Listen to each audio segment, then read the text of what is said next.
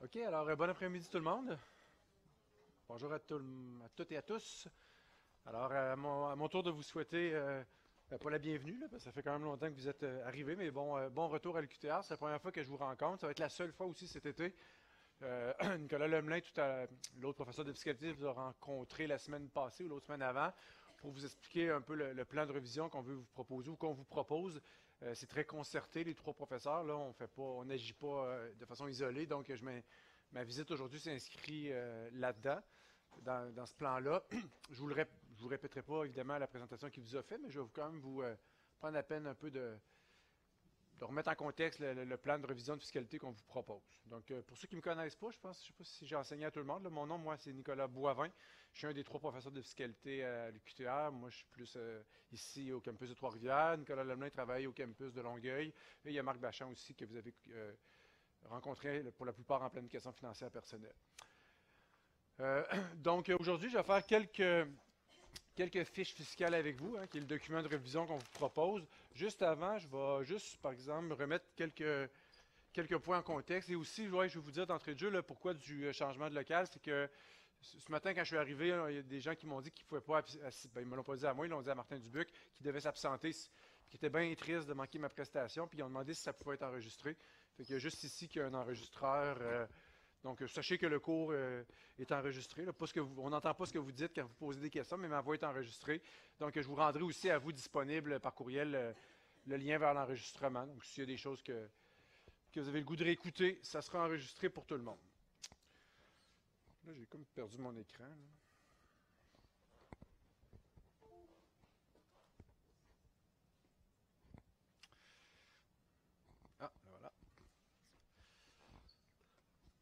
Donc, euh, euh, quand, Nicolas Lemelin est venu vous présenter euh, tout le, le, Pardon. Je perds mon écran. Allez, allez.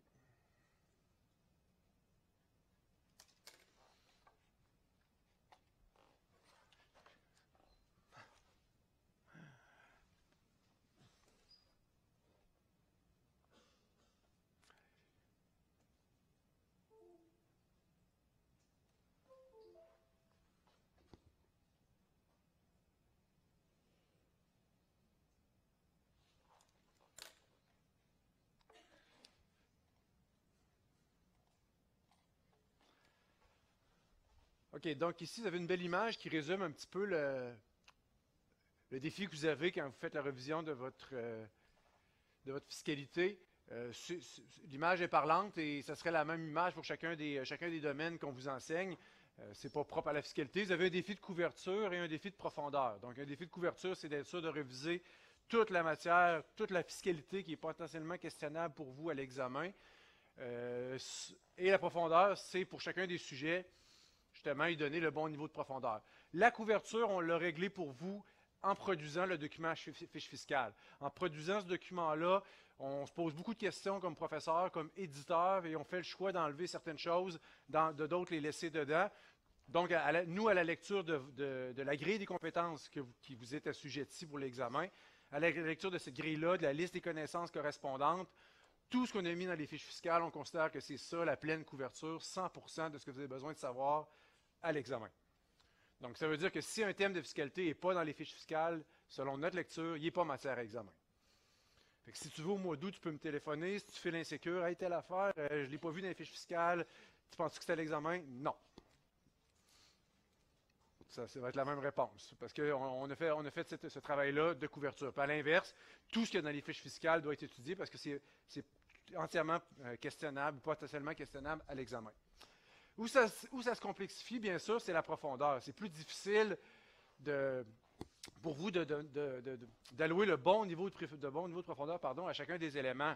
Vous, vous, êtes guidé, bien sûr, par les, euh, niveaux de maîtrise ABC qui sont dans l'examen, euh, qui sont aussi reproduits dans nos fiches fiscales.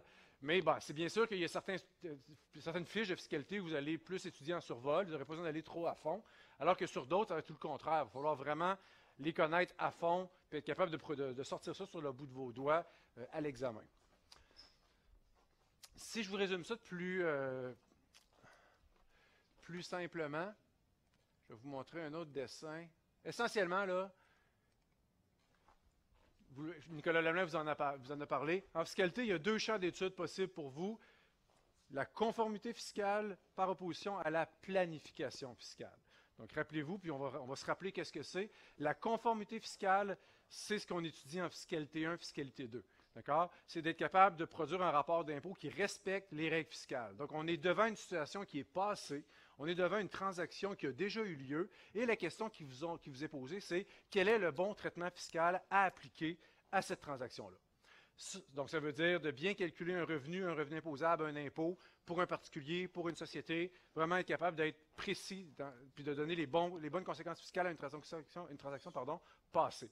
Par opposition à la planification fiscale, où on vous demande un conseil, où on vous demande des suggestions pour essentiellement réduire l'impôt. Pour une personne, pour une famille, pour un groupe de société, peu importe, mais la finalité en planification fiscale, c'est de proposer quelque chose, une idée pour euh, finalement, économiser l'impôt. Bien, assurément, puis Nicolas Lemoyne vous l'a dit, le niveau d'attente le plus élevé euh, par rapport, pour vous par rapport au jury d'examen, c'est en conformité fiscale. D'accord? Si vous devez échouer vos compétences de fiscalité, vous allez les échouer à cause de la conformité fiscale. Parce que vous êtes négligent et vous n'étudiez pas assez à fond votre conformité fiscale. Il n'y a personne ici qui va être dans le pétrin pour une question de planification fiscale, tellement le niveau d'attente est bas du jury d'examen. Mais en conformité, il faut le savoir sur le bout de ses doigts. Il faut connaître toutes les règles de, calcul de revenu d'emploi, calcul de revenu d'entreprise, qu'est-ce qui est imposable, qu'est-ce qui ne l'est pas, comment ça marche les options d'achat d'actions, comment ça marche les prêts, les automobiles fournis par l'employeur, c'est quoi qu'est-ce qui est déductible pour une entreprise, qu'est-ce qui ne l'est pas, comment faire une conciliation pour transformer un bénéfice comptable en revenu d'entreprise fiscale, et ainsi de suite. Appliquer les bons taux d'impôt pour les particuliers, pour les sociétés. Si tu n'as jamais compris comment ça marchait le compte des MRTD, il va falloir que tu t'attelles cet été. Parce que le compte d'impôt en main remboursable au titre de dividende, c'est de la conformité dans le rapport d'impôt d'une société, plus précisément dans son calcul de l'impôt. En planification fiscale, les attentes sont très basses, B et C la plupart du temps. Et on va s'entendre, c'est quoi une question, potentielle, une question potentielle de planification fiscale à l'examen? Je sais ce que vous avez en tête quand vous entendez planification fiscale. Là, vous pensez à fusion, liquidation, réorganisation, gel successoral, cristallisation de la déduction pour gain capital, roulement. Je fais pas exprès de prendre des mots qui sont compliqués et qui sonnent à peu près rien dans votre tête, là, à part boy. Mais c'est pas ça. Je vais vous donner un exemple de question de planification fiscale que vous pourriez avoir à l'examen. Madame Tremblay euh, désire épargner pour sa retraite. Par ailleurs, elle aimerait réduire son impôt cette année. Avez-vous un conseil à donner à Mme Tremblay? C'est de la planif, on n'est pas en conformité, on est en planif. Elle demande un conseil. Elle veut mettre de l'argent de côté pour sa retraite, puis par ailleurs, elle aimerait ça sauver de l'impôt cette année. Avez-vous un bon conseil à lui donner? Intérieur. Voilà, bingo. Tu l'as, la compétence. Ça va être marqué check compétent. Je peux pas croire, là, vous dites, je ne peux pas croire que je vais devenir CPA, puis que c'est ça qu'on s'attend de moi. Oui, justement, vous n'êtes pas. On ne forme pas des fiscalistes. On n'est pas en train de former des fiscalistes. Des CPA, là, si vous on l'avait vu la semaine passée, c'est 10 à 15% des compétences qui sont en fiscalité. c'est en conformité que ça se passe. Madame Tremblay, par exemple, elle dit Mon employeur m'a fourni une automobile, peux-tu m'expliquer ce qui va m'arriver? Attelle-toi, par exemple. Droit d'usage, frais de fonctionnement, t'es mieux d'être sa coche. Trompe-toi pas. Va pas, va pas lui dire ben oui, vous allez pouvoir déduire des dépenses auto. Voyons, se fournir une auto peut pourrait déduire des dépenses. Non. Ça, tu vas être dans le trouble. Si tu trompes ta conformité, là, tu vas être dans le trouble.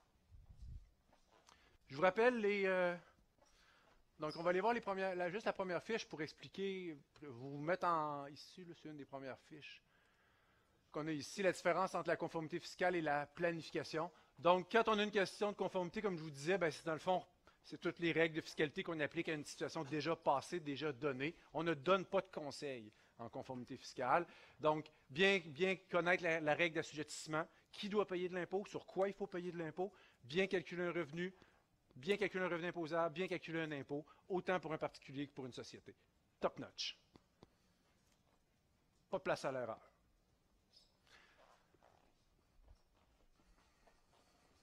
Planification fiscale, ben, c'est pas évident. Je ne veux pas passer trop de temps dessus parce qu'il faut que je sois cohérent avec mon message. Je vous dis que c'est moins important. Fait faut comme, je veux comme pas passer beaucoup de temps dessus. Mais je vais quand même prendre juste la peine de vous expliquer. Un, c'est pas évident, là, en plein euh, mois de juin, vous n'êtes pas des fiscalistes. Je suis en train de vous donner des trucs sur comment faire de la planification fiscale. Et des fiscalistes, ça fait 10 ans qu'ils pratiquent, puis ils ont encore de la misère à faire de la planification fiscale. C'est dur. C'est dur faire de la planification fiscale. C'est pour ça que les niveaux d'attente est bas. C'est comme un artiste qui se fait dire par son gérant Écris-moi un succès. Je te donne deux semaines. OK? C'est déstabilisant. Je commence par quoi? Il n'y a, pas de recette. OK. Fait quelqu'un qui dit euh, Je veux sauver de l'impôt, propose-moi quelque chose. OK. Par, quoi je commence? C'est ça pareil. Donc, on vous donne quatre. Derrière les stratégies de planification fiscale, aussi simples soient-elles, on, peut identifier dans le fond quatre objectifs. Si vous gardez ça en tête, ces quatre objectifs-là, euh, vous allez peut-être pouvoir donner des bonnes idées de planification fiscale. Le premier objectif qu'on peut viser lorsqu'on veut conseiller quelqu'un, c'est de trouver, de lui proposer des méthodes d'exonération. Donc, des situations où il pourrait gagner un, certain revenu euh, sans payer aucun impôt dessus. On s'entend, c'est le meilleur des mondes. Il n'y en a pas beaucoup de situations d'exonération, vous le voyez. Le principal, c'est la déduction pour gain capital. Si tu peux conseiller à quelqu'un de, vendre ses actions en sachant qu'il va faire, par exemple, 800 000 de gain capital et que vous lui dites qu'il ne paiera pas d'impôt dessus parce qu'il aura la possibilité de prendre la déduction pour gain capital, bien, vous venez lui donner un bon conseil, euh, assurément. Mais c'est pas mal le seul qui donne droit à de l'exonération. On vous dire, c'est pas long qu'on vient au, bout des conseils pour procurer de l'exonération d'impôt. Quand on a épuisé les possibilités d'exonération d'impôt, on va se rabattre sur des conseils où on peut réduire l'impôt. Donc là, ce n'est pas de l'exonérer au complet, mais c'est de faire en sorte que quelqu'un fasse un revenu, qu'on puisse lui conseiller de faire certains revenus qui sont moins imposés que d'autres. Ce n'est pas tous les revenus qui sont imposés pareil. Donc, si vous pouvez proposer à quelqu'un une idée où son, revenu serait moins imposé, bien, vous avez encore atteint l'objectif de, de, planification fiscale. Donc, rappelez-vous les sources de revenus qui sont moins imposées que les autres. Le gain capital, imposable seulement à la moitié. Les revenus de dividendes sont moins imposés avec l'effet de leur majoration, mais surtout du crédit d'impôt pour dividendes. En finalité, le dividende est moins imposé que les autres. Les options d'achat d'actions, pour certains employés qui reçoivent les options d'achat d'actions, il, y a une déduction de 50% qui est disponible parfois dans le calcul du revenu imposable. Ça réduit l'impôt aussi pour cet employé-là. Ça aussi, on l'épuise assez rapidement. Troisième objectif en planification fiscale, quand on a épuisé les deux premiers, trouver des trucs ou trouver des suggestions où on pourrait fractionner le revenu. Fractionner le revenu, ça veut dire, au lieu qu'une seule personne prenne un, revenu de 20 000 et le mette dans son rapport d'impôt tout seul, est-ce qu'on ne pourrait pas prendre ce revenu-là de 20 000 et le, morceler, le fractionner en quatre petits revenus de 5 000 Un revenu qui, serait dans le, rapport d'impôt de monsieur, un autre, un autre 5 000 dans le rapport d'impôt de son conjoint, puis les deux autres 5 000 dans le rapport d'impôt des enfants, par exemple. Si tu réussissais à faire ça légalement, tu réduirais l'impôt de cette famille-là, c'est certain. Puisque les taux d'imposition sont progressifs, ce serait payant de déplacer des 5 000 comme ça et de profiter du crédit de base et des taux d'impôt bas pour tout le monde. Donc, il y a quelques stratégies légales qui permettent de faire du fractionnement de revenus. On peut les proposer. Mais c'est bien sûr que le principal frein, c'est les règles d'attribution. Il y a une série de règles dans la loi de l'impôt qui, essentiellement, bloquent le fractionnement de revenus et empêchent les familles de faire du fractionnement de revenus de façon trop grossière donner un placement, donner un, dépôt à terme de 2 millions à ton enfant de 2 ans pour qu'il fasse l'intérêt à ta place, ça ne marchera pas. Il y a une règle d'attribution qui va retourner l'intérêt dans ton rapport d'impôt. Il faut être un peu subtil, puis proposer des stratégies, mais il y en a, des stratégies qui sont légales. On en voyez quelques-unes. Finalement, la dernière euh, chose qu'on peut viser, le dernier objectif qu'on peut viser quand on fait de la planification fiscale et qu'on a épuisé tout le reste, c'est de proposer des stratégies qui permettent du report d'impôt. Donc, quand on parle de rapport d'impôt, on ne réduit pas l'impôt, on ne l'exonère pas, on ne le fractionne même pas le revenu, on, va, payer tout notre impôt, mais plus tard. Est-ce qu'on ne pourrait pas proposer quelque chose qui fait en sorte que ton 12 000 d'impôt, au lieu de le payer cette année, tu vas le payer l'année prochaine? Et soyez pas trop sévère avec vous. Je peux vous dire que 95 des, des trucs de planification fiscale qu'on donne à quelqu'un se situent ici. Dites-vous pas, oh, c'est poche, je propose juste du rapport d'impôt. C'est pas poche. 95% des idées de planif se retrouvent là. Il y a une tonne de possibilités de rapport d'impôt dans la loi de l'impôt. Très peu d'exonération, très peu de réduction, très peu de fractionnement de revenus, une tonne de rapports d'impôt. Il y a des fiscalistes qui gagnent leur vie à faire faire du rapport d'impôt à leurs clients. Sur des gros montants, si tu peux reporter l'impôt de 2-3 ans, ça fait la différence. Ça fait une belle différence. Donc voilà pour la planification fiscale. Ça peut être des guides qui vont vous aider à donner euh, des trucs là, pour arriver à, des bons conseils de planification fiscale. OK, alors je vais aller voir quelques fiches avec vous. J'en ai ciblé euh, huit qu'on va faire ensemble. Euh, je vous... si on regarde la, la, table des matières de votre volume, on aurait pu prendre n'importe lequel dans le fond.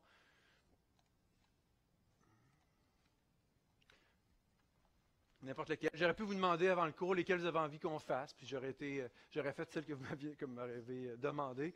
Mais sans blague, quand on fait ça, ça ne réagit pas. Depuis quelques années, on ne pose pas la question. J'en ai ciblé huit. Je sais qu'elles sont importantes. Je sais que ça va vous faire plaisir euh, qu'on parle de ça ensemble.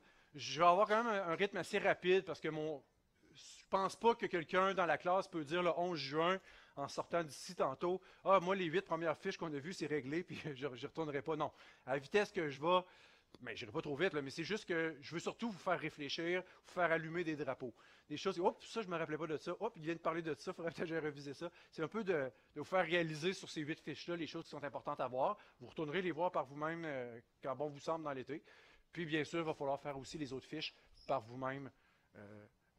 tu sais, en terminant, je sais que Nicolas Lemelin l'a dit, mais quand on. C'est comme une liste à cocher, ça. Tu as tout ça à réviser dans ton été. Quand une fiche est finie, Mélange jaune, coche-la, est fini, est fini. Passe pas ton été à revenir sur cette fiche-là. Mais sérieusement, tu devrais, tu devrais quand même être assez exigeant envers toi-même. Quand tu coches une fiche, c'est vraiment que tu la comprends. Là. C'est pas que tu es allé en diagonale, oh, avant de te coucher, là, ah, c'est bon, c'est réglé.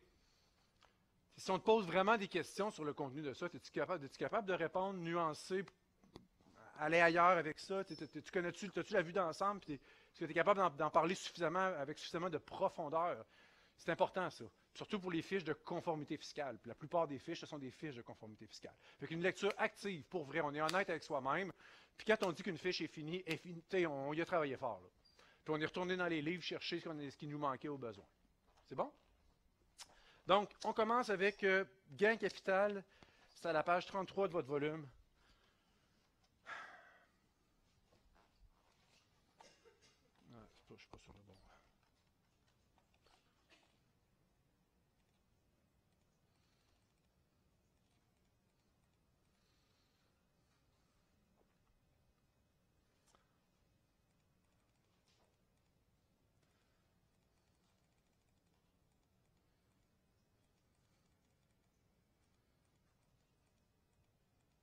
OK.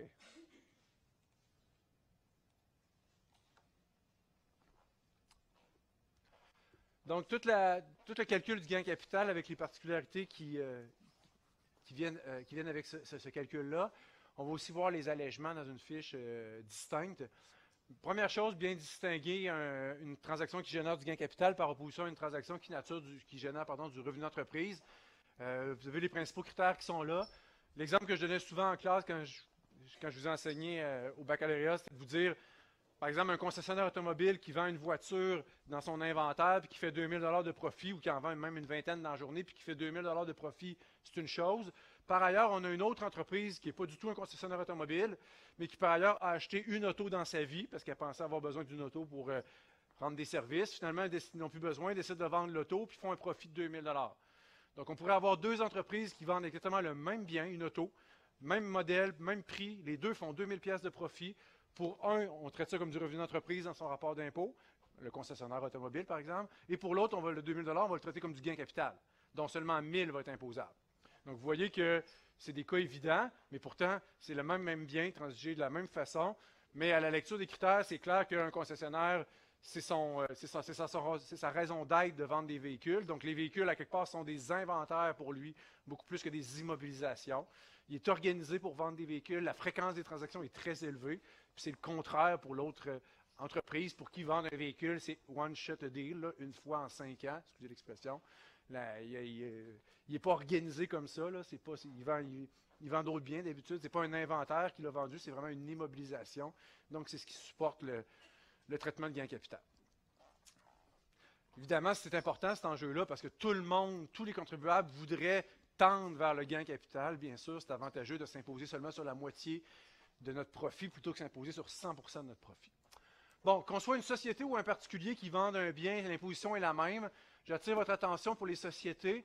Donc, le taux d'impôt pour les, revenus de placement est de 38,67 donc, les sociétés, tous les revenus d'intérêt, tous les revenus de dividendes étrangers et le gain capital imposable, ce sont tous des revenus de placement qu'on impose au gros taux pour les sociétés, 38,67% Et je vous rappelle aussi que les sociétés ont un compte qui s'appelle le compte de dividendes en capital. Et il y aura 50% la portion non imposable du gain capital, qui va venir s'inscrire dans le compte de dividendes en capital. C'est de la conformité, ça aussi, le, le, fonctionnement du compte de dividendes en capital. Donc, je vous rappelle que les sociétés euh, ils ont un compte dans lequel on va tenir registre de tous les revenus que la société a fait et qui sont des, revenus non imposables. Donc, quand on dit à une société, toi, tel revenu, tel revenu n'est pas imposable pour toi, ben, c'est important que la société, elle l'inscrive dans son compte de CDC, ce revenu-là qu'elle a reçu, elle, et qui était non imposable, pour qu'on puisse prendre ces revenus-là et qu'on puisse les verser à l'actionnaire aussi libre d'impôt. Si on ne tenait pas registre de ça, ben, par exemple, la moitié du gain capital à qui on dit que c'est non imposable quand c'est versé à la société, mais ensuite de ça, ça serait versé en dividende à l'actionnaire, en dividende ordinaire, puis l'actionnaire finirait par s'imposer dessus. Ça perdrait sa nature non imposable. Donc, pour être sûr de garder trace de tout ce qui est non imposable dans une société, on tient un registre, simplement, qu'on appelle le compte de dividende en capital. Puis s'il y a 3 000 pièces dans le compte de dividende en capital, ça donne le droit de verser 3 000 pièces de dividende à l'actionnaire qui sera libre d'impôt. On en parle dans une fiche sur les sociétés. Euh,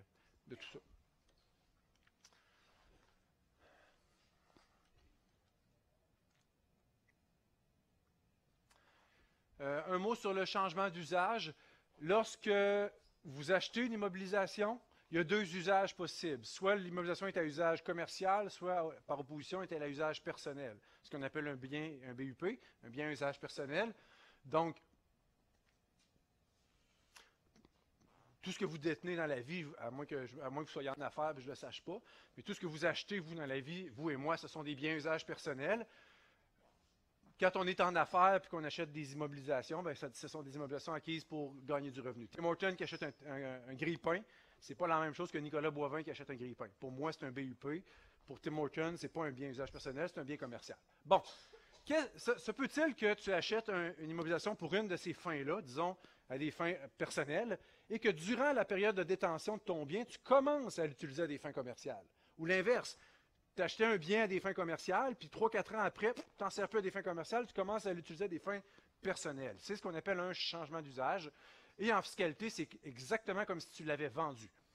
Une immobilisation qui subit un changement d'usage, c'est la même chose que si tu, si tu l'avais vendu à la juste valeur marchande et si tu l'avais racheté à la juste valeur marchande.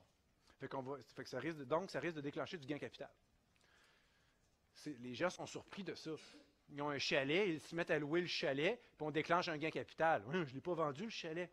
Oui, au fin fiscal, tu l'as vendu. Tu te l'as vendu de toi à toi au moment où il a changé d'usage.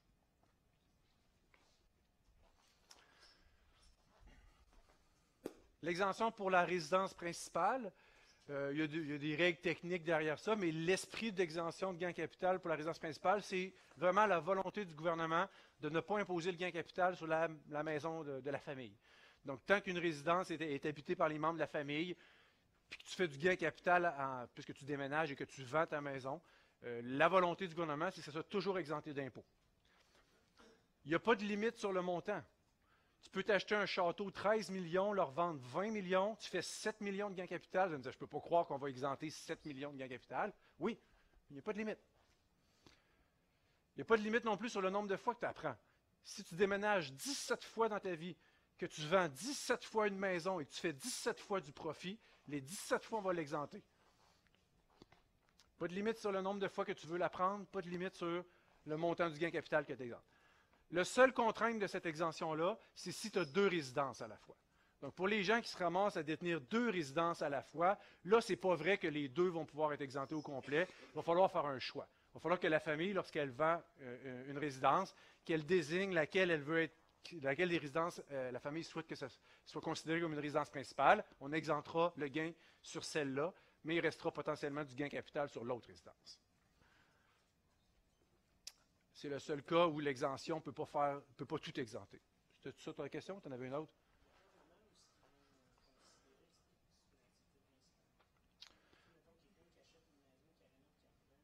Oui, effectivement. Mon, exemple de transaction, d'avoir beaucoup, beaucoup, beaucoup de transactions, si à un moment donné, tu es considéré comme un, revendeur de maison, puis que, comme tu dis, tu gagnes ta vie à faire ça, là, ça perdrait possiblement sa nature de gain capital. On revient au premier débat, là, possiblement que ça deviendrait du revenu d'entreprise. Il n'y a pas question d'avoir d'exemption, pour, euh, évidemment, pour, euh, pour gain capital là-dessus.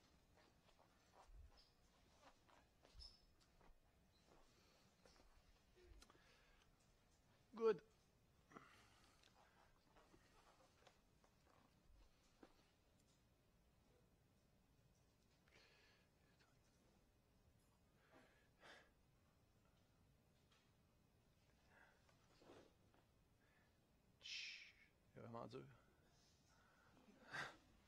La provision pour gain capital, c'est super important, ça. Très, très, très fréquent. Aussitôt que tu n'encaisses pas la totalité de ton produit de disposition, tu n'as pas à t'imposer sur tout ton gain capital. si une moindre partie de ton produit de disposition n'est pas payé dans l'année où tu vends, c'est sûr que tu vas pouvoir reporter ton gain capital à plus tard. Il y a une formule, puis il y a une, façon que ça procède, tout ça. Donc, si tu vends un immeuble 1 million, L'acheteur dit, je te donne rien cette année, je te donne 500 000 l'année prochaine, puis 500 000 l'année 3. C'est clair que tu n'auras pas de gain capital l'année 1. Ce ne serait pas logique que tu en aies, parce que ce serait un peu une nono. Le gouvernement est sensible à cette situation-là de ne pas déclencher du gain capital dans une année quand tu sais clairement que tu n'as pas encaissé de produit de disposition. Parce qu'on va se dire avec, quoi, avec quel argent veux-tu qu'il paye l'impôt? Il n'a même pas encaissé encore son produit de disposition. Donc la provision pour gain capital sert à ça, à différer, à répartir le gain capital pour que ça coïncide à peu près avec les années où tu encaisses ton produit de disposition. Donc, c'est simple, c'est accessible à tout le monde sur n'importe quelle vente de n'importe quelle immobilisation. Euh, les biens meubles déterminés, les biens usage personnel, on en a parlé un petit peu, ce n'est pas, euh, pas, super important. Je, je ferais juste vous dire de faire attention qu'il n'y a pas de perte en capital ici. Là. Donc, quand on vend un bien usage personnel, donc tout ce que vous détenez, c'est des, votre ordinateur, votre linge, votre, voiture, tout ce que vous achetez dans la vie, vous et moi, ce sont tous des biens usage personnels parce qu'on ne les utilise pas à des fins commerciales. Ben, quand on vend ça sur Kijiji puis qu'on fait des pertes, euh, on ne déclare pas ça dans notre rapport d'impôt, bien sûr.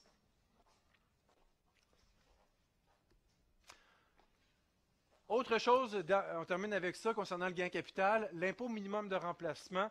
Je ne sais pas si vous vous rappelez un petit peu de, ce principe-là qu'on avait vu en fiscalité 1, quand on avait terminé de voir le calcul de l'impôt. Quand un particulier termine son calcul de l'impôt, il a fini de calculer son revenu, son revenu imposable, son impôt, avec, la table d'impôt progressive, les 22 crédits d'impôt, rappelez-vous, là, cet impôt-là, appelons ça l'impôt standard, ça doit être comparé à un deuxième calcul qu'on appelle le calcul de l'impôt minimum de remplacement. Tous les particuliers, à chaque année, doivent faire un deuxième calcul qu'on appelle l'impôt minimum de remplacement avec des règles un petit peu différentes. Essentiellement, dans le régime d'impôt euh, modifié, l'impôt minimum de remplacement, on impose 80% du gain capital au lieu d'en imposer 50 comme dans le régime standard, et on impose les revenus de dividendes bruts, donc sans majoration, sans crédit d'impôt. Et à la fin de l'année, il faut tout le temps que le particulier paye le plus élevé des deux, le plus élevé de l'impôt standard ou de l'impôt minimum de remplacement honnêtement, le calcul technique, je vous le donne, ce n'est pas nécessaire de l'apprendre par cœur, mais il n'y a pas beaucoup de gens qui sont à qui, doivent payer de l'impôt minimum de remplacement. Parce qu'il y a une exemption de 40 000 dans le calcul. Donc, pour la plupart des gens, même si tu oublies de calculer l'impôt minimum de remplacement, tout le monde dans la classe, je suis certain, moi, vos parents, pour tout le monde, vous avez fait le rapport d'impôt de vos parents au mois d'avril disant Ah oh, merde, j'ai oublié de calculer l'impôt minimum de remplacement. T'inquiète, je suis certain que ça donnait zéro. Je suis certain que ça donnait zéro. Donc, le plus élevé, c'était assurément l'impôt standard. Ceux, par exemple, qui vont se faire prendre par l'impôt minimum de remplacement, c'est des gens qui ont fait beaucoup de gains capital. et surtout ceux qui ont pris la déduction pour gain capital. Donc, quand quelqu'un fait 800 000 de gain capital dans l'année, par exemple, et qu'il prend 800 000 de déduction pour gain capital, puis que vous dites dans votre cas au jury d'examen, ne t'inquiète pas, tu n'auras pas d'impôt à payer cette année. Wow, nuance. C'est vrai que l'impôt régulier va donner zéro. 800 000 moins 800 000. Mais si tu calcules l'impôt minimum de remplacement, ça va probablement donner 25 000. Fait que cette personne-là n'aura peut-être pas d'impôt régulier à payer, mais va avoir quelque chose comme 25 000 d'impôt minimum de remplacement à payer une fois l'année où il a fait le gros gain capital avec l'utilisation de la déduction pour gain capital. Ouais.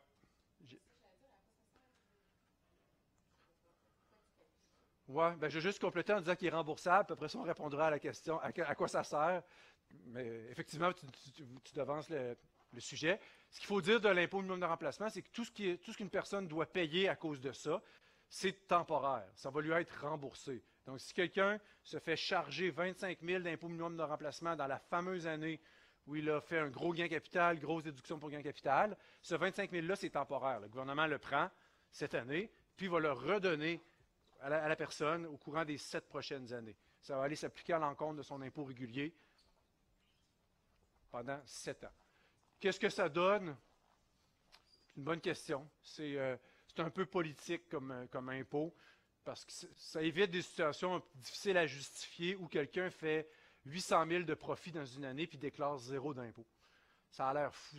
Au niveau politique, c'est difficile à défendre.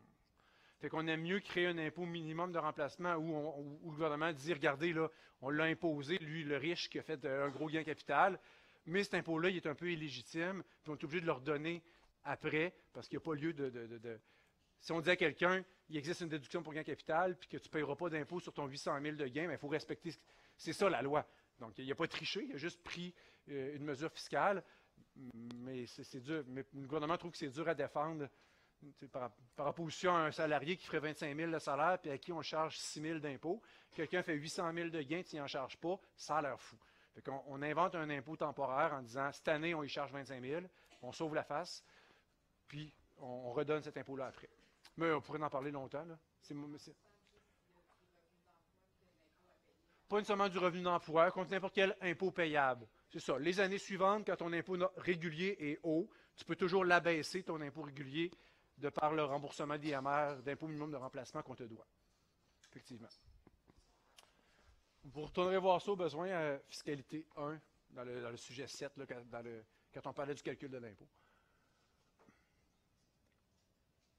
OK, les allègements maintenant, toujours sous l'idée de gain capital. Trois mesures qui sont offertes aux gens, euh, ben, essentiellement aux gens qui investissent dans des petites compagnies canadiennes. Vraiment, c'est un portefeuille. Hein. C'est trois mesures fiscales qui sont complètement attachées et qui visent exactement les mêmes personnes, c'est-à-dire les investisseurs qui investissent dans des petites compagnies canadiennes qu'on appelle SEPE, e, donc euh, Société exploitant une petite entreprise.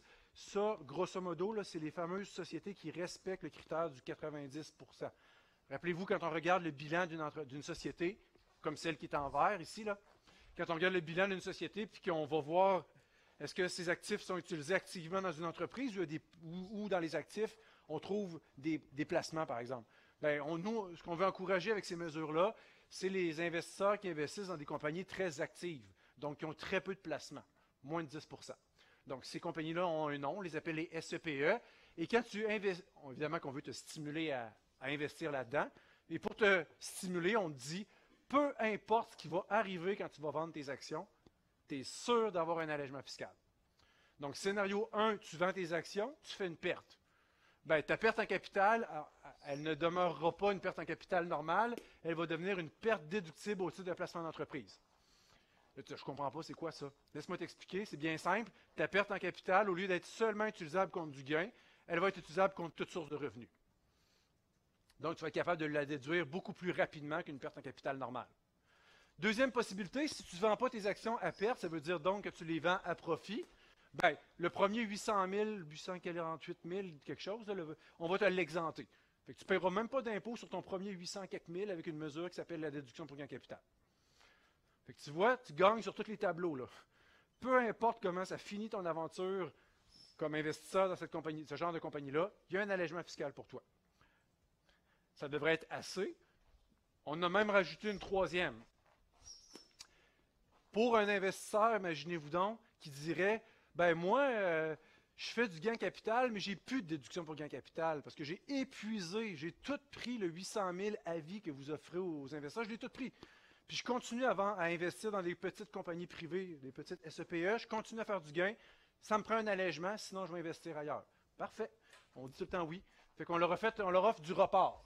On va, on va le voir en détail, les trois. L'autre possibilité, quand tu n'as plus de déduction pour gain capital et que tu continues à faire du gain capital de, cette nature-là, on va te permettre, te permettre pardon, de reporter ton gain capital à plus tard.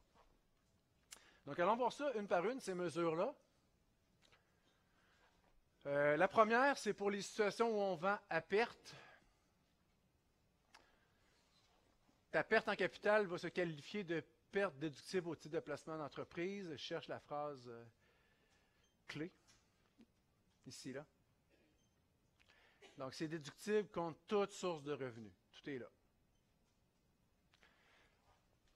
Ça a l'air bien anodin quand c'est dit comme ça, mais ça fait toute la différence pour un investisseur. Imaginez un investisseur qui a acheté une fois dans sa vie des une SEPE, là, comme ça, ça peut être le propriétaire ici à Trois-Rivières de, Morgane. Euh, SEPE, là, imaginez que c'est Morgane, l'entreprise à Trois-Rivières. Il y a une compagnie, lui, un Morgane, 4-5 places d'affaires. Il vend ça une fois dans sa vie. Il fait une perte. Je ne sais pas s'il ferait une perte dans la vraie vie, mais maintenant il fait une perte. Une perte en capital de 4 millions. Mais si on ne lui donnait pas l'allègement fiscal de la PDTPE, puis que la perte en capital de 4 millions la traitait selon les règles normales, qu'est-ce qui arriverait? Comment il traiterait ça dans son rapport d'impôt? Applicable seulement contre du gain capital. Donc, tu as fait 4 millions de pertes cette année. J'espère que tu as fait 4 millions de gains cette année. Ben non, je n'ai rien qu'une compagnie, je viens de la vendre. Mais d'abord, si elle ne sert pas cette année, elle va se ramasser où cette perte-là de 4 millions? Dans les banques. Dans les banques de perte en capital net. Reportable moins 3 plus l'infini contre quoi? Du gain capital seulement. Bref, il ne l'utilisera jamais. Il y a une tonne de monde qui meurt avec des banques de PCN bien pleines parce que la grosse transaction, la grosse transaction de leur vie, ça a fait une perte. Ce pas des investisseurs réguliers. Ils ne font pas d'autres investissements. Ils ne font pas de gains. La perte. Versus, je te dis, non, non, ton 4 millions de pertes, tu peux le passer contre tous tes revenus. Ah ouais. Ça tombe bien, je suis médecin, moi. Je fais 500 000 de revenus d'entreprise par année. Ça veut dire que la première année, je vais faire 500 000 de revenus de médecin, moins 500 000 de PDTPE. Année 2, année 3, année 4, je pense que je suis rendu à 2 millions. Année 5, année 6, année 7, année 8. 8 ans à ne pas payer un sou d'impôt sur mon 500 000 de revenus de médecin, parce qu'à chaque année, j'égrène un 500 000 de ma PDTPE. J'ai oublié de la fractionner de moitié peut-être, mais vous comprenez l'esprit. Ça fait toute la différence. Ça fait toute la différence pour quelqu'un entre passer très très rapidement la perte en déduction versus pour bien les gens, même pas être capable de l'utiliser.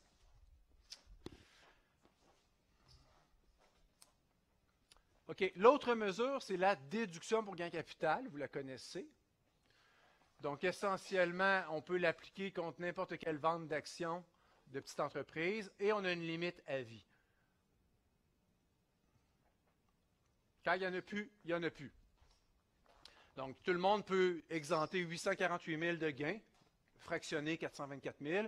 Tu peux prendre un petit morceau à la fois, le compteur diminue, puis quand il n'y en a plus, il n'y en a plus. Euh, voyez ici les principales limites. J'attire votre attention sur les, une limite. Regardez ici.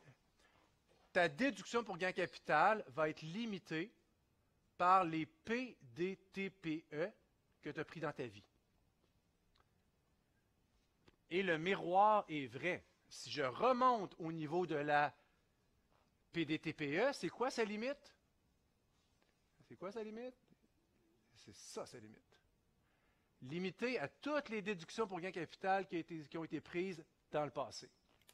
Donc, ces deux premières mesures-là, PDTPE et DGC, sont très, très, très interreliées.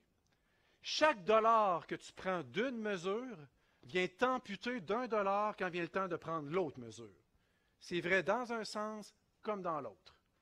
Donc, quelqu'un qui a déjà pris de la DGC dans sa vie, c'est sûr que ça va lui nuire le jour où il va essayer de prendre une PDTPE. Et l'inverse est vrai. Quelqu'un qui a déjà pris une PDTPE dans sa vie, c'est sûr que ça va le nuire quand va venir le temps de prendre la DGC. Chaque dollar pour dollar. si tu as pris 800 000 de, DGC, ben les 800 premiers 1000 de pertes que tu vas essayer de qualifier en PDTPE, on ne voudra pas.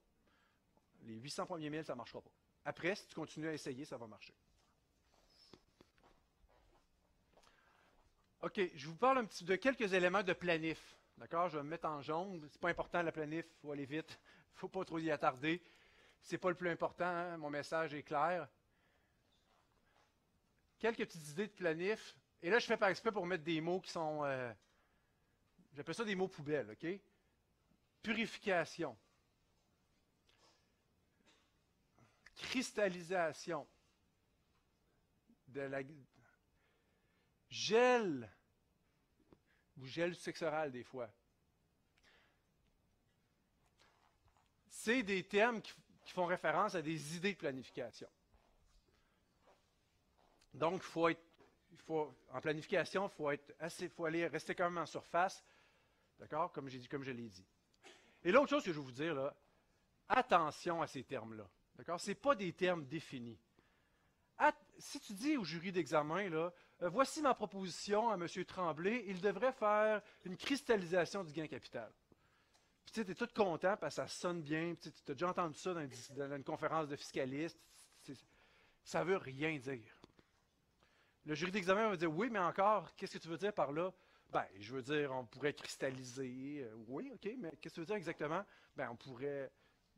Finalement, tu le sais-tu C'est quoi faire une cristallisation? Donc, oublie ça. Donne pas, lance pas ces idées-là en pensant que c'est défini, en pensant que juste en lançant ça, tout le jury d'examen va dire Oh, wow, il a vu ça, lui, bonne idée, compétent. Non, non, non. Explique ce que tu veux faire. Tu suggères une purification, explique c'est quoi. Utilise même pas le mot. Tu veux proposer une idée de gel successoral, explique ce que tu veux faire. Utilise pas ce mot-là. Dans le jargon, les fiscalistes ont donné ces noms-là à ces stratégies-là de planification. Je ne l'ai même pas la vraie définition. Je vais vous dire ce que moi j'en pense. L'idée de purifier, c'est tout simplement quand tu veux prendre une des mesures fiscales qu'on vient de voir et que tu testes les actifs d'une société, puis que tu espères que le ratio va être de 90% puis tu ne le rencontres pas. Si tu regardes, puis que 85% d'actifs utilisés activement, 15% qui sont des placements, ta compagnie n'est même pas une SEPE. Peu importe quelle transaction tu feras, aucun des trois allègements fiscaux n'est disponible. Fait que ce serait bête de dire à la personne, ben, continuez quand même. Non, il faut arrêter, il faut faire une stratégie, il faut faire une proposition de, planification. Donc, il y a des petites transactions bien simples qu'on peut proposer de faire par une société, qui essentiellement consistent à sortir les actifs qui sont impurs de la société pour ensuite refaire les tests sur la société, puis là, atteindre le fameux 90 Des petites stratégies, vous les connaissez, ça peut être simplement de, prendre de l'encaisse, le verser en dividende à l'actionnaire. Donc, si tu fais ça, tu vas sortir un surplus d'encaisse. Ça peut être de prendre de l'encaisse, payer des passifs. Donc, tu vas baisser ton encaisse en payant tes passifs. Les passifs ne font pas partie du test. Une mauvaise suggestion, par exemple, ce serait de vendre des placements. Quand tu dis vous devriez vendre des placements dans la compagnie, qu'est-ce que tu fais dans le fond? Tu vends un placement, puis tu le remplaces par de l'encaisse. C'est pas mieux. n'est pas plus admissible l'encaisse que tu viens de générer. Il faut la sortir. Il faut sortir l'encaisse ou sortir les placements. Versement de dividendes, versement du CDC, remboursement du capital versé, payer les passifs, il y a plein de petites stratégies assez simples pour arriver à ça. Deuxième idée de planification que les gens appellent souvent la cristallisation du, du gain capital ou de la déduction pour gain capital. Voici ma définition très, très maison. Ça serait de proposer à quelqu'un de provoquer hâtivement un gain capital pour qu'il puisse prendre sa déduction pour gain capital hâtivement. Ce que je veux dire par là, c'est que ça vise une situation où, normalement, votre client, n'avait pas envie de vendre ses actions. Il n'est pas, pas supposé de vendre ses actions. Il n'est pas prêt, lui, il serait prêt dans trois ans. Ou, par exemple, il n'y a pas d'acheteur. Oui, je suis prêt, mais je n'ai pas d'acheteur. Euh, plein de scénarios où la vraie vie ferait que, normalement, il ne vendrait pas ses actions. Ben, toi, tu lui donnes un conseil, tu dis, moi, je vous suggère de, vendre aujourd'hui vos actions de façon hâtive. Dans le fond, crée-toi une compagnie de gestion, puis vends tes actions à ta compagnie de gestion, puis fais maintenant ton gain capital, puis prends maintenant ta déduction pour gain capital. Pourquoi on ferait ça, créativement du gain capital, sachant que dans la vraie vie, on ne le ferait même pas tout de suite, le gain capital? Bien, il y a plusieurs raisons qui peuvent motiver ça. Donc, comme je disais tout à l'heure, ton fameux ratio de 90% ça se peut qu'il soit très difficile à maintenir. Pour certaines, sociétés, c'est tough de maintenir le 90% L'encaisse monte tellement vite. Fait que là, tout est beau, tu es à 92% Tu dis, ça serait donc le fun de vendre aujourd'hui. Mais mon acheteur, moi, il va juste être prêt l'année prochaine. Ben, tu peux te créer une compagnie de gestion, vendre tes actifs maintenant, prendre ta déduction pour gain capital maintenant. Après ça, tu vas avoir la paix. Puis ton acheteur, quand il arrivera dans un an, il achètera les actions de la, compagnie de gestion. Tout va être fait. Ton gain va être fait, ta déduction pour gain capital va être prise. Il y en a qui ont peur que la déduction pour gain capital euh, disparaisse dans un budget. Moi, mon acheteur, là, pour vrai, je vais vendre dans trois ans. Mais mon, mon, mon chum m'a dit que le gouvernement risque de faire disparaître la DGC l'année prochaine. Ça serait-tu bête de perdre ça? Puis je vends deux ans trop tard. J'ai peur de ça. Je ne sais pas si j'aurais le goût de dire, fais-toi-en pas avec ça, mais je peux aussi lui dire, je te propose de cristalliser. On va vendre maintenant. Si tu as peur de perdre la déduction pour gain capital, on va vendre maintenant, faire le gain maintenant, prendre ta déduction pour gain capital maintenant. On va vendre une compagnie de gestion. Puis quand l'acheteur arrivera, tu lui, laisseras, tu lui vendras après de par ta compagnie de gestion. Ça peut être dans, par exemple, crainte d'un décès. Si tu, vous savez qu'au moment du décès, le propriétaire de l'entreprise, il est réputé vendre ses actions à la juste valeur marchande.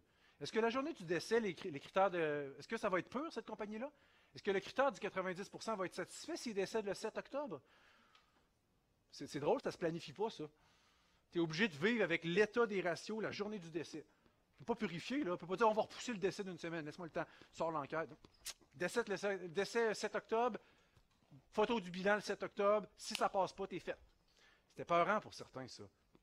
Donc, vous comprenez, il y a une quand je veux proposer cette idée-là de cristallisation, c'est parce qu'il y a une volonté. Je veux finir avec ça. Tu ne proposes pas ça à tout le monde. Ce n'est pas bon pour tout le monde de cristalliser. Il faut que dans le cas, il y ait un indice que la personne est nerveuse, puis que ce serait peut-être une bonne idée de lui proposer une cristallisation. Un indice du genre, ah, j'ai peur de ne pas pouvoir la prendre, ah, j'ai peur que mes ratios ne soient pas satisfaits, ah, j'ai peur de décéder puis que je puisse pas prendre, tu sais, je peux pas prendre ma déduction pour gain capital. S'il y a des indices comme ça dans le cas, on t'ouvre grand à la porte pour proposer ça. Mais s'il n'y a pas d'indice, proposez pas ça. 99% des clients ne cristallisent pas. Ils n'ont pas peur.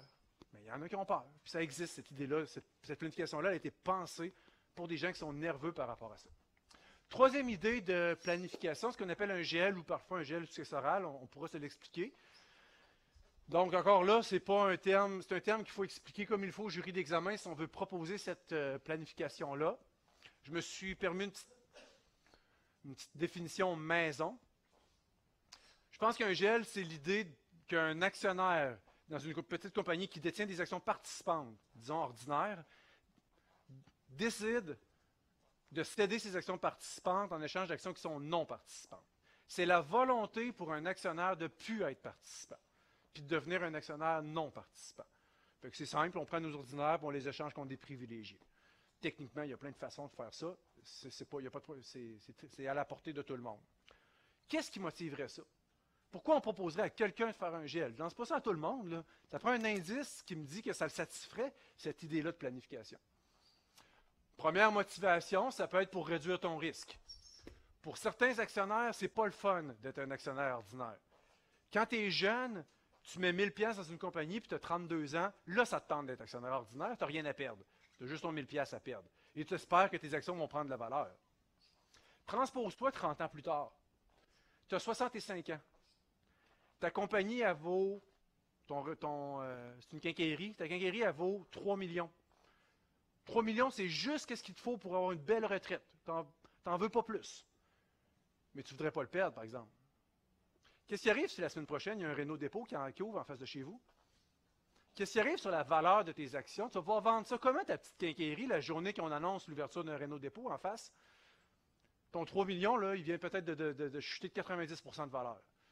En, dans une semaine, tu viens peut-être de perdre 90% de la valeur de ton portefeuille, de toute ton épargne retraite, de tout, quoi, de tout ce que tu as construit dans les 35 dernières années.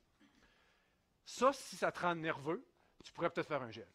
Tu pourrais peut-être céder les actions ordinaires, les remplacer par des privilégiés qui ne prendront pas de valeur et qui n'en prendront plus, mais qui n'en perdront pas non plus. Et ça laisse aussi l'autre désir, ça peut être aussi pour financer. Ça peut être un bon moyen aussi pour financer l'arrivée d'un nouvel actionnaire. Parce que si toi, tu laisses aller les actions ordinaires pour des actions privilégiées qui valent 3 millions, mais ben, ça veut dire que quelqu'un va pouvoir acheter les nouvelles actions ordinaires. Ça peut être un enfant, ça peut être un employé, ça peut être un inconnu, ça peut être n'importe qui. Combien, le lendemain du gel successoral, quelqu'un qui veut souscrire aux nouvelles actions ordinaires, combien ça vaut ces actions-là?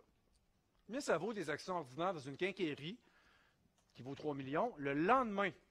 De la conversion des actions ordinaires en actions privilégiées par le, détenteur? Ça vaut rien. C'est pour ça qu'on peut souscrire aux actions ordinaires 10 pièces, 100 pièces, 1000 pièces, ça vaut rien.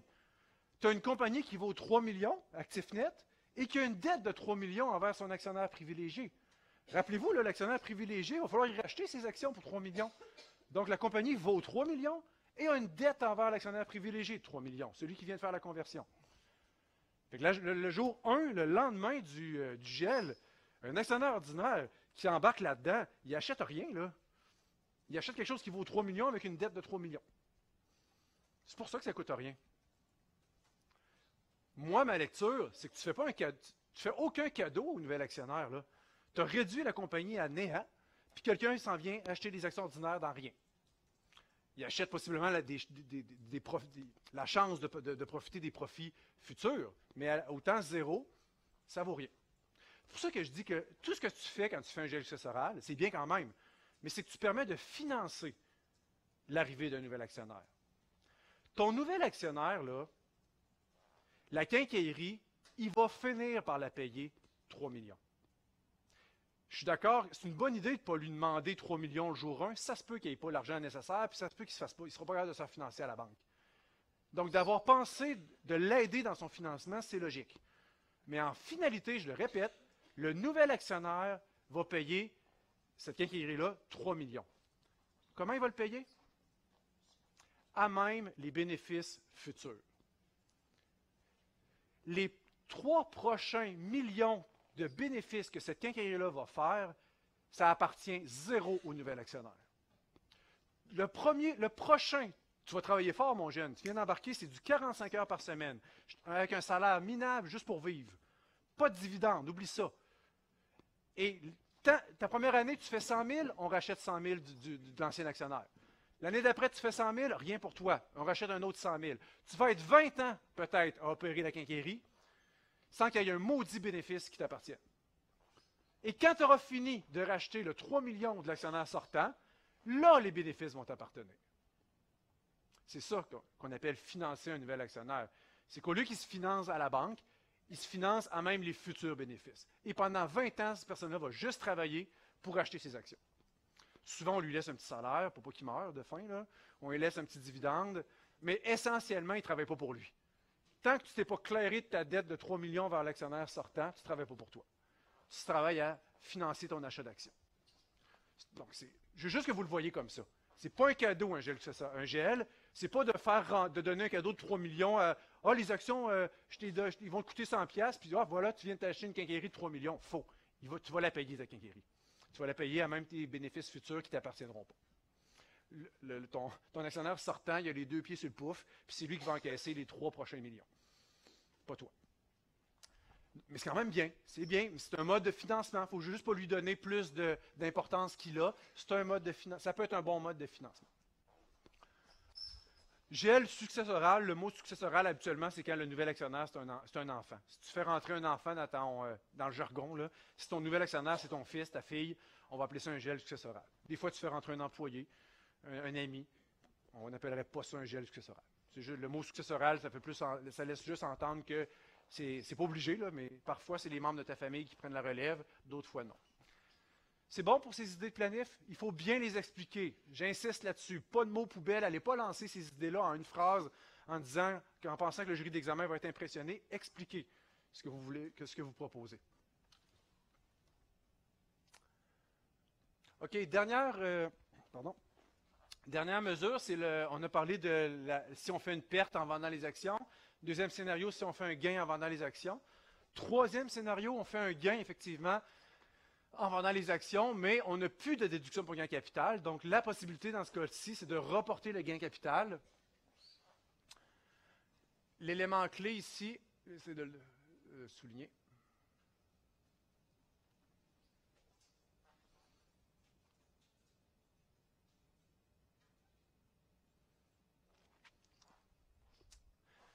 Donc, si toi, tu as des actions de petite entreprise, tu les vends. Les vendre, ça veut dire que tu désinvestis de la SEPE. Tu fais exactement le contraire de ce qu'on veut stimuler. Et donc, tu désinvestis en vendant tes actions, tu fais un gain capital de 5 millions. Ce gain capital-là, plus de, plus de DGC disponible, on s'entend. On est prêt à le reporter à plus tard. Pour ça, on te demande de poser un geste. C'est donnant-donnant. Sois bon pour l'économie canadienne, on va être bon pour ta fiscalité, puis on va te permettre de reporter le gain. Quel geste tu dois poser? Je te rappelle que tu es un déserteur, tu viens de désinvestir.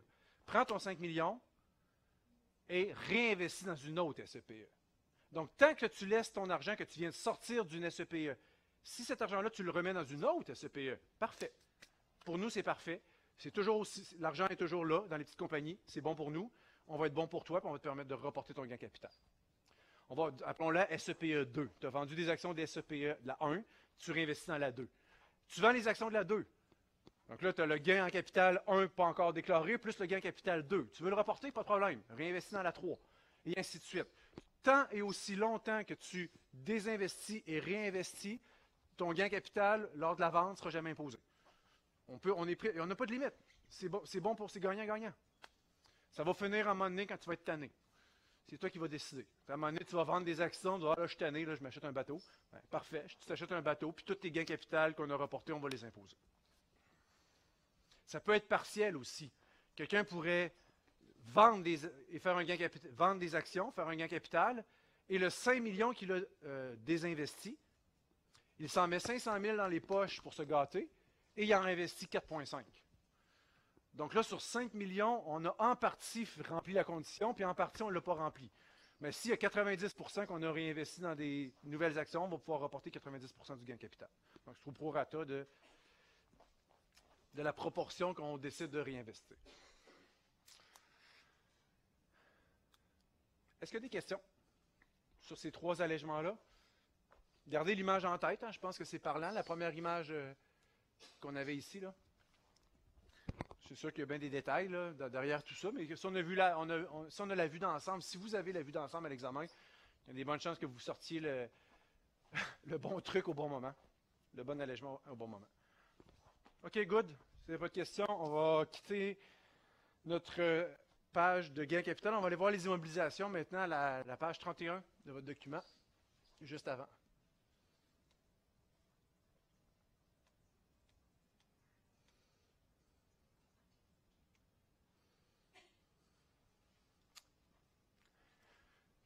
Euh, juste avant, je peux-tu ouvrir, une parenthèse? Peux-tu euh, me poser une question qui m'a été posée ce matin, puis je vais y répondre moi-même?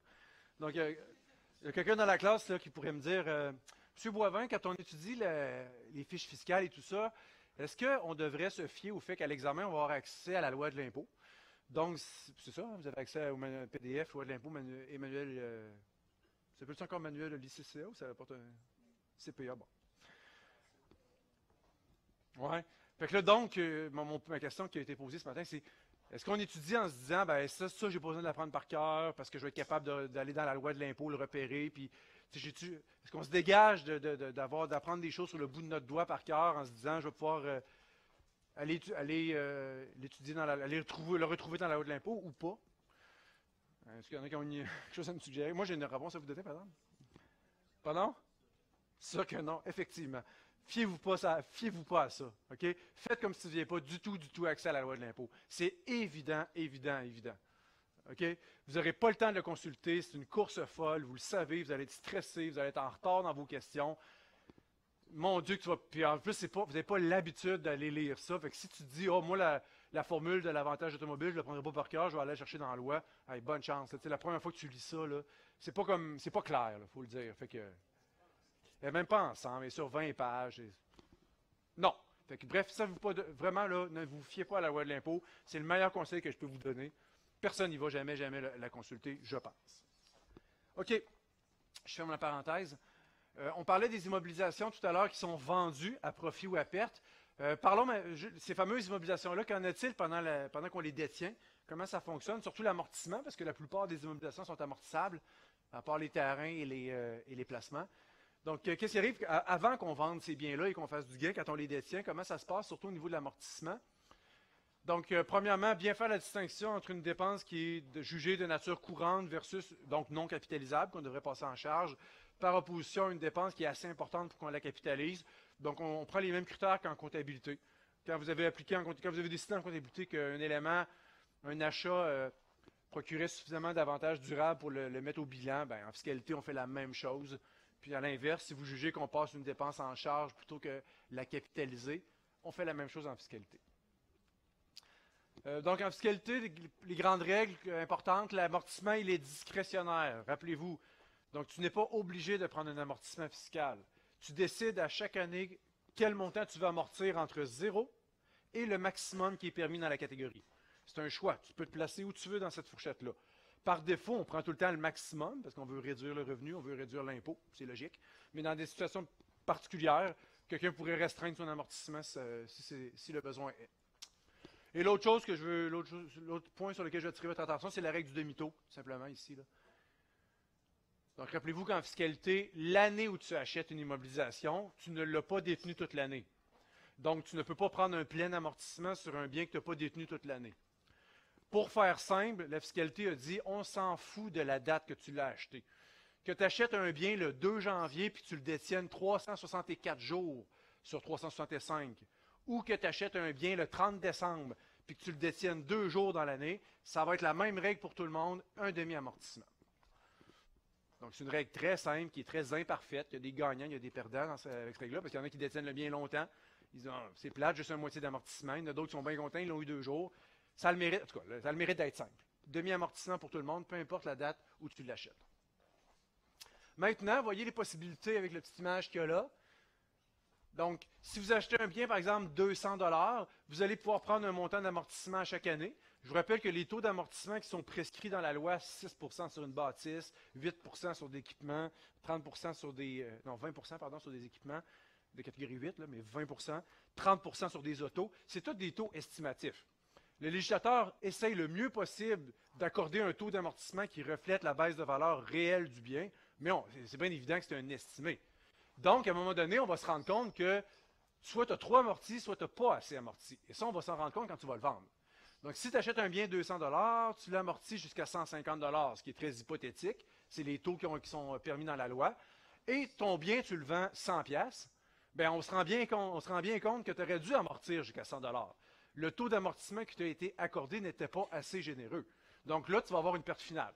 Tout ce qui est dans le vert. Ça fait en sorte que tu vas pouvoir prendre une déduction d'amortissement accélérée tout d'un coup pour compenser ce qui t'a manqué comme amortissement. Donc, par exemple, si tu vends 40 ben, il te manque 110 pièces d'amortissement, puis on va te le donner tout d'un coup. L'inverse, si tu vends au-dessus de 150 ben là, le taux d'amortissement qu'on t'a accordé était trop généreux. Ton bien n'a pas perdu tant de valeur que ça. La preuve, tu le vends, disons, 170 donc là, il va falloir que tu t'imposes, que tu redonnes le 20 d'amortissement que tu as pris en trop, qu'on appelle la récupération d'amortissement. Donc tout ce qui est dans la zone rouge, ça va faire, si on vend dans cette zone-là, ça fait en sorte qu'on doit redonner l'amortissement pris en trop. Et s'il fallait en plus qu'on vende au-dessus du coût, ben là, en plus de, même pas avoir eu, on n'aurait même pas dû amortir, le bien, en plus que le bien n'ait pas perdu de valeur, au contraire, il a pris de la valeur. Donc, euh, pleine récupération d'amortissement plus un gain capital. Vous voyez ici, il ne peut pas avoir de perte en capital. Pas besoin de perte en capital. La perte finale et la récupération d'amortissement vont tout régulariser au niveau de, pour ce qui se passe en dessous, du coût. Toutes les ventes qui se passent en bas du coûtant, il n'y a pas de perte en capital. C'est soit de la récupération, soit de la perte finale. Ce qui se vend au-dessus, quand ça se vend au-dessus du coût, là, il faut imposer un gain capital. C'est bon?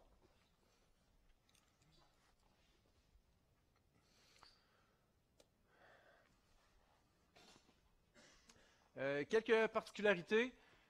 Euh, les immeubles locatifs. Donc, si vous détenez un immeuble et qu'il est destiné à la location euh, résidentielle, donc vous avez un bloc appartement, vous le louez à des familles, la particularité au niveau de ça, c'est que vous devrez vous limiter au niveau de votre amortissement. Vous ne pouvez pas créer une perte de location avec de l'amortissement. donc, si par exemple, vous avez un immeuble locatif, 4 logements, ça génère 25 000 de revenus de location, vous avez 23 000 de dépenses déductibles autre que l'amortissement, ben, vous avez donc 2000 de revenus de location, vous n'avez même pas encore amorti votre immeuble. Quand même, bien vous auriez droit à 12, 15, 20 000 d'amortissement, vous ne pourrez pas. Vous allez devoir vous limiter à 2 000 parce qu'on ne peut pas créer une perte sur un immeuble locatif avec l'amortissement. Si vous avez 25 000 de revenus, 35 000 de dépenses, vous n'avez même pas encore amorti, vous êtes déjà à moins 10. Vous êtes déjà, donc, dans ce cas-là, vous ne pourrez même pas prendre même pas un dollar d'amortissement, vous êtes déjà à perte. Donc ça, c'est vraiment unique sur des blocs appartements. Je, suis propriétaire d'un bloc appartement que je loue euh, à des familles. Les dispositions involontaires, c'est des situations, euh, ça le dit bien, ça le dit, son nom l'indique, où je vends un bien contre mon gré. Pensez à des situations de feu, vol, expropriation. Donc, j'ai perdu mon bien, j'ai reçu un montant d'argent en retour, soit de l'assurance, qui me, donne une indemnité d'assurance ou, ou, le gouvernement qui me donne un montant d'expropriation, mais peu importe, je reçois un montant suite à la disposition involontaire d'un bien. Si on laissait aller les règles normales, il y aurait possiblement de la récupération d'amortissement ici. Et récupération d'amortissement. Et du gain capital. C'est bête un peu. C'est bête un peu d'appliquer les règles générales à quelqu'un, puis de l'imposer sur de la récupération, puis du gain capital, puis lui demander de l'impôt à payer, lui créer de l'impôt à payer maintenant, en disant J'ai jamais souhaité ça. Là. Là, on est le 10 juin. Hier, je passais au feu. ma bâtisse a passé au feu. Mon entreprise a passé au feu. J'ai reçu l'assurance un matin. Ben, a été l'enfer dans les 24 dernières heures. J'ai jamais choisi ça. Puis là, vous voulez m'imposer comme si je l'avais vendu volontairement. C'est un peu sévère comme traitement. Donc, le gouvernement est sensible à ça. Puis il dit OK, on pourrait prendre ta récupération puis ton gain capital, puis le reporter à plus tard. Pour ça, il faut que tu poses un geste. C'est quoi? Tu viens de perdre ta ferme, tu viens d'encaisser 3 millions d'assurance. Qu'est-ce qu'il faut que tu fasses avec les 3 millions? Si tu es tanné de ta ferme, oh, je vais aller en bateau, moi.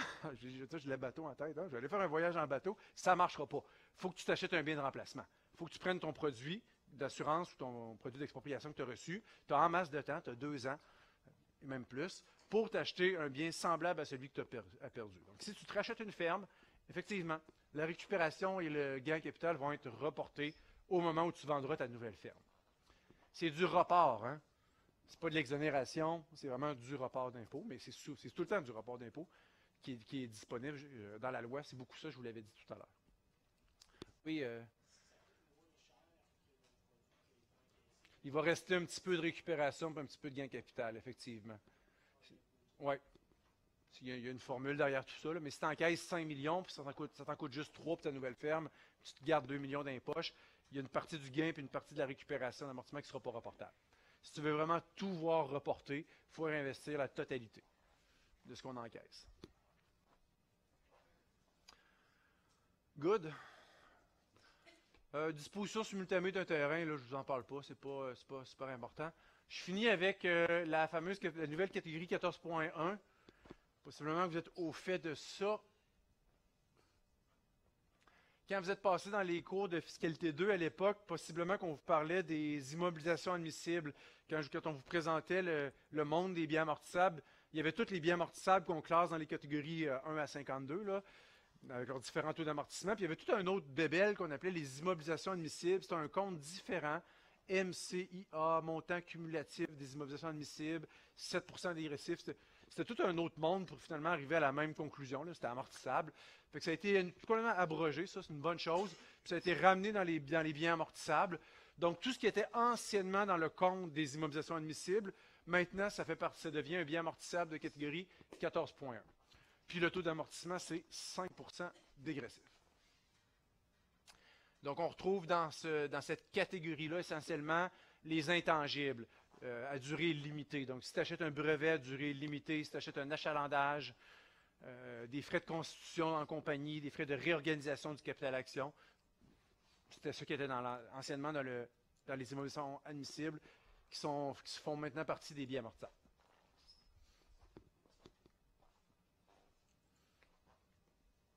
C'est bon?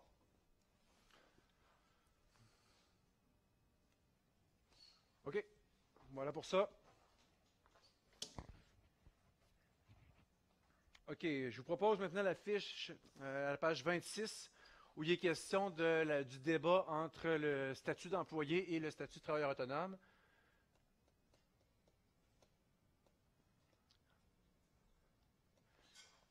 Page 26 de votre document.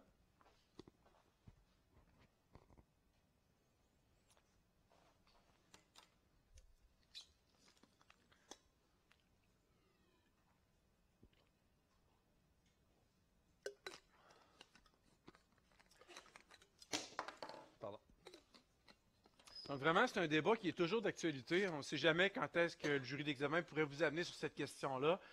Euh, si on suit un petit peu l'actualité, il est souvent question de ça. Donc la fameuse, situation où je rends des services à quelqu'un et je me demande, est-ce que, est que moi, je suis travailleur autonome? Donc, est-ce que je dois déclarer du revenu d'entreprise, les sommes qui me sont versées par le, le payeur? Est-ce que pour moi, c'est du revenu d'entreprise ou je suis plutôt son employé? Dans quel cas, je devrais déclarer mon revenu comme du revenu d'emploi? C'est une question euh, fort intéressante. Les impacts sont, fort importants aussi, on les, verra après. Mais premier mythe à déboulonner, ce n'est pas un choix. Dans la population, on dirait que des fois, du monde vient me poser des questions à mon bureau, puis ils se disent Ah, euh, moi, je filerais pour être travailleur autonome cette année, puis euh, ce serait plus avantageux pour moi. Puis ils pensent que. On, comprenez qu'on n'a pas cette liberté-là. C'est vraiment. Il faut regarder le genre de relation qui existe entre le payeur et le travailleur et à la lecture des critères qui nous proviennent de, de la jurisprudence. C'est comme ça qu'on est capable de trancher. Donc, je vous les rappelle, les principaux critères, ils sont là. La subordination, ça fait juste vous rappeler que dans une relation employeur-employé, il y a un patron. Un patron, là, c'est quelqu'un qui a un pouvoir sur son employé. Donc, ton patron, il a le pouvoir de dire Je veux que tu fasses ça, arrête de faire ça, fais ça à la place. Demain matin, je veux que tu rentres à 8 heures. Tu veux sortir à 5 heures ce soir? Non, 5 h 30, s'il te plaît, j'ai besoin de toi. vous comprenez, il y, a, un pouvoir sur toi. Donc, quand, vous, quand, vous quand celui qui paye a ce pouvoir-là sur toi, déjà le critère 1 semble démontrer une subordination. A contrario, un travailleur autonome comme mon déneigeur qui déneige ma cour l'hiver, moi, celui qui le paye, je n'ai pas de subordination sur lui. On va dire, là, je ne donne pas d'ordre ben ben. Là. Je ne dis pas, viens à l'heure, fais pas ci, fais pas ça. Il fait, ce qu'il a à faire, puis je n'ai pas cette autorité-là sur lui, comme un patron a une certaine autorité sur son employé. Deuxième critère, le critère économique. C'est aussi important. Quand on est employé, il n'y a pas de risque économique. Aucun. Zéro. Si tu aimes ça, vivre confortable dans tes bottines, tu aimes ça, savoir exactement quel salaire tu vas faire à chaque année, va-t'en employé. C'est bien sûr. Zéro risque. Je t'engage, je vais te payer 80 000 par année. Ben, je le sais qu'à la fin de l'année, je vais faire 80 000. Peut-être 78 si je suis un peu malade, peut-être 82 000 si je fais un peu de surtemps. Il n'y a pas de risque. Mon déneigeur, lui, pensez-vous qu'il sait comment il va faire dans l'hiver? Ça dépend en tabarouette du nombre de, centimètres de neige qui va tomber. Hein. Il y a des années où mon déneigeur fait une fortune parce qu'il est sorti trois fois dans l'hiver, il n'a pas neigé. Puis l'année d'après, il peut perdre, il peut perdre ses, 150 000 par année parce qu'il a neigé au bout.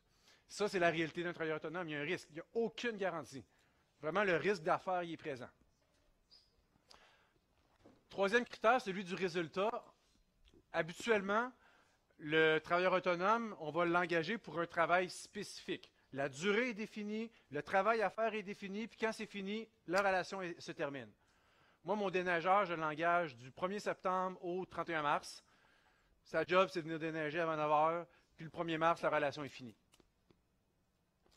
Quand on engage un employé, la plupart du temps, ce n'est pas aussi clair que ça. Quand tu engages un employé, la plupart du temps, tu sais que tu l'engages, tu ne sais pas exactement sur quoi il va travailler, il reste à ta disponibilité. Tu peux lui dire fais ci, fais ça, euh, finalement fais ça la semaine prochaine, puis tu ne sais pas non plus quand est-ce qu'il va partir. Euh, plusieurs contrats d'emploi n'ont pas de fin, donc euh, je t'engage, puis tant que ça va faire, ça va faire. Puis si dans 17 ans, ça fait plus, ça fait plus. Puis si dans 15 ans, tu veux partir, tu partiras. On ne le sait pas. On s'embarque dans une relation qui n'est pas définie dans le temps. Le, travail à faire n'est pas clairement défini. Je t'engage comme comptable, tu ne laveras pas les toilettes. on sait que tu vas faire de la comptabilité, mais tu ne sais pas. Tu ne sais pas exactement ce que tu vas faire. Dernier critère, l'intégration. Euh, on constate habituellement que dans une entreprise, dans le cœur, même des activités d'entreprise, dans son core business, excusez-moi l'expression, on va retrouver là beaucoup plus des employés. Par exemple, alors que pour les activités connexes à l'entreprise, c'est l'endroit où peut-être on pourrait retrouver des travailleurs autonomes. Par exemple, McDonald's, leur core business, c'est de faire des burgers. Ben, je peux vous dire que dans le, rôle de cuisinier, c'est des employés. Ceux qui les, les serveurs, serveuses à la caisse, c'est des employés. C'est leur, raison d'être de, faire des burgers. Donc, pour ceux qui travaillent là-dedans, on va retrouver des employés. Celui qui déneige le toit, peut-être c'est un employé, peut-être c'est un travailleur autonome qui a été engagé spécifiquement pour déneiger le toit. Ça ne me surprendrait pas. Qui lave les toilettes? Je ne sais pas. Peut-être un employé, peut-être un travailleur autonome. Je ne serais pas surpris qu'ils engagent un travailleur autonome pour laver les toilettes. Mais ils n'engageraient jamais un travailleur autonome pour les boulettes. À l'université, c'est quoi le core business? Enseignement-recherche. Professeurs chargés de cours, c'est des, des, employés de l'UQTR. Qui vend de la poutine? Pas des employés. C'est pas, c'est connexe.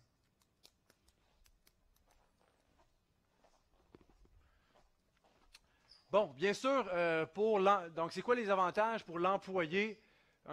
Quand on est le, j'aurais plutôt dire le travailleur, là, quand on est un travailleur, c'est bien sûr que si on est travailleur autonome, on a accès à plus de déductions fiscales. Donc, dans notre rapport d'impôt, on va pouvoir faire chuter notre revenu d'entreprise parce qu'il y a beaucoup plus de déductions qui sont admises à l'encontre d'un revenu d'entreprise que pour un employé à l'encontre de son revenu d'emploi. L'enjeu pour l'employeur aussi est important. Pour l'employeur, tu ne traites pas de la même façon un employé que tu traites un travailleur autonome. Moi, mon travailleur autonome qui déneige ma cour, là, il me dit, ça me coûte, il me dit, c'est 254 pièces, Nicolas, taxe incluse. Fait que je fais un chèque de 250 pièces, 254, je donne, point final, je m'occupe plus de lui. Si je m'engageais un employé, ce n'est pas la même affaire. Il me demanderait des vacances. Euh, il faudrait que je paye des vacances. Il faudrait que je paye sa part de la Régie des rentes du Québec. Il faudrait que je paye sa part de l'assurance emploi. Faudrait que, que, je paye les normes du travail. Il faudrait que je paye la CSST parce que s'il se blesse, il va falloir indemniser. Vous comprenez que l'employeur, il s'embarque dans une panoplie d'obligations quand il est dans une relation employeur-employé, duquel il se dégage complètement quand il fait affaire avec des travailleurs autonomes.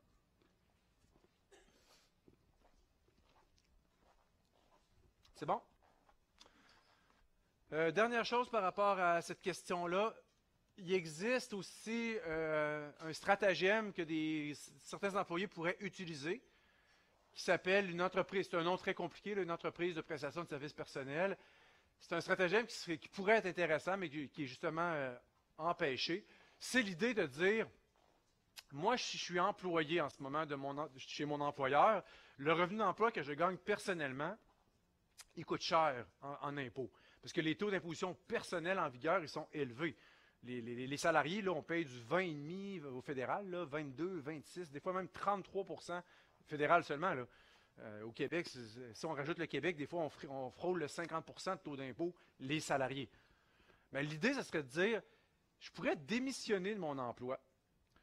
Aussitôt que j'ai démissionné de mon emploi, je me pars une société, une petite compagnie, et ma compagnie va aller contacter mon ancien employeur et va aller rendre exactement les mêmes services que moi je rendais avant comme employé. Ma compagnie va aller rendre les mêmes services à mon employeur. Donc, en faisant ça, moi, moi, je suis rendu actionnaire de ma petite compagnie, je ne reçois plus de revenus d'emploi. Ma compagnie va facturer mon ancien employeur qui va lui verser des, des honoraires, qui vont être du revenu d'entreprise. Et c'est quoi le taux d'impôt corporatif? C'est quoi le taux d'imposition des sociétés sur du revenu d'entreprise? 10 Donc, voyez l'attrait, comment ce serait intéressant de transformer un revenu d'emploi qui normalement est imposé à 20, 22, 26, 33% transformer ça en du revenu d'entreprise dans une compagnie imposé à 10 ça serait, ça serait drôlement utile. Donc, moi, moi-même, je pourrais faire ça. Je démissionne de l'UQTR comme professeur, moi-même créer une petite compagnie qui va offrir des services d'enseignement. Fait que là, il y a un seul actionnaire, c'est moi, euh, dans la petite compagnie. Ça s'appelle Nicolas Boivin Enseignement. Il y a juste un seul employé, c'est moi. Puis là, je suis allé démissionner. Benoît Lavigne est tout découragé parce qu'il y a un cours demain en classe, puis je viens de, le, lâcher. Fait que là, je, quitte son bureau. Une minute après, je recogne. Il est encore de même. Je dis, Benoît, j'ai quelque chose à te proposer. Le temps que j'ai démissionné, je me suis créé une compagnie. Et ma compagnie, si tu souhaites, pourrait rendre des services à ton département et envoyer un professeur, un de mes employés euh, dans la compagnie, rendre des services d'enseignement. Là, il est tout content. Il a perdu, l'UQTR avait perdu un employé, mais peut remplacer ça par un service rendu par une compagnie. Comme de fait, la compagnie Nicolas Boivin Inc. envoie un de ses employés le lendemain, c'est moi. Je suis le seul employé. Je, suis devant mes classes comme je l'étais la veille, mais je suis plus techniquement employé de l'UQTR. Je suis maintenant un employé d'une petite compagnie qui rend des services d'enseignement à l'UQTR. Et tout ce qui m'était versé comme salaire avant, personnellement, je demande que ce soit versé à ma compagnie. Ça ne marcherait pas il faut absolument empêcher ça pour garder l'équité fiscale, bien sûr. C'est ça qu'on appelle une EPSP. Et c'est bien simple. La compagnie, son taux d'impôt est de 10% on va le grimper à 33% Donc, ces compagnies-là, qui sont clairement des anciens employés qui ont démissionné et qui ont fait ce stratagème-là, dans les compagnies, ils n'ont pas accès au taux de 10% Sur leur revenu d'entreprise, c'est 33% 33% c'est vous savez, c'est quoi? Ce n'est pas un chiffre au hasard ça, balance avec quoi, 33% Le plus haut taux d'impôt possible pour un individu. Donc, ça enlève un peu le goût de. ben, Évidemment, là, une question d'équité, ça décourage complètement les gens. Il n'y a plus aucun intérêt à faire ça. Puis c'est- bien comme ça. Oui, je vais aller à toi après.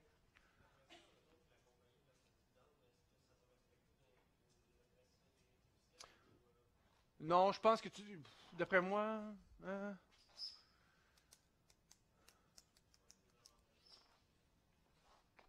Euh, ben, la compagnie va devoir s'imposer à 33 Puis une, fois ça fait, si tu veux prendre l'argent qui reste dans la compagnie puis te l'envoyer en dividende, tu pourras. Ah, c'est clair, tu vas être désavantagé. C'est le pire scénario fiscal. Elle n'a jamais, conseillé ça. C'est le pire scénario. Il n'y a plus personne, il a plus personne qui fait ce stratagème-là tellement c'est, barré, puis c'est désavantageux.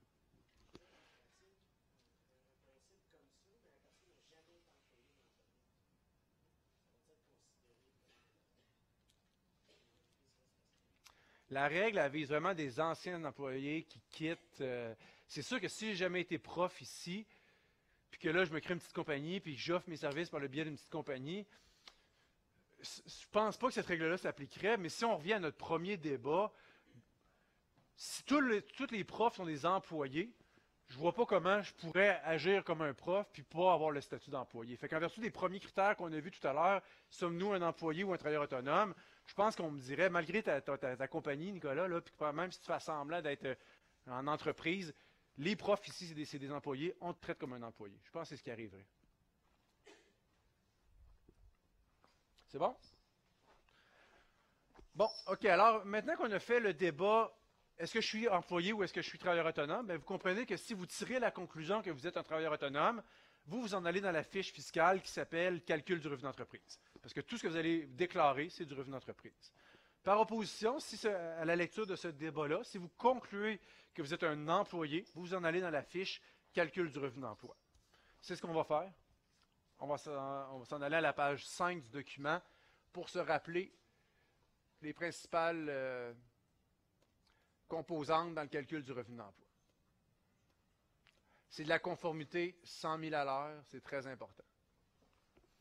C'est pas ce qui est le plus compliqué, mais parce que c'est de la conformité, il faut, être, euh, je l'ai en masse répété, il faut être euh, juste dans ce qu'on dit.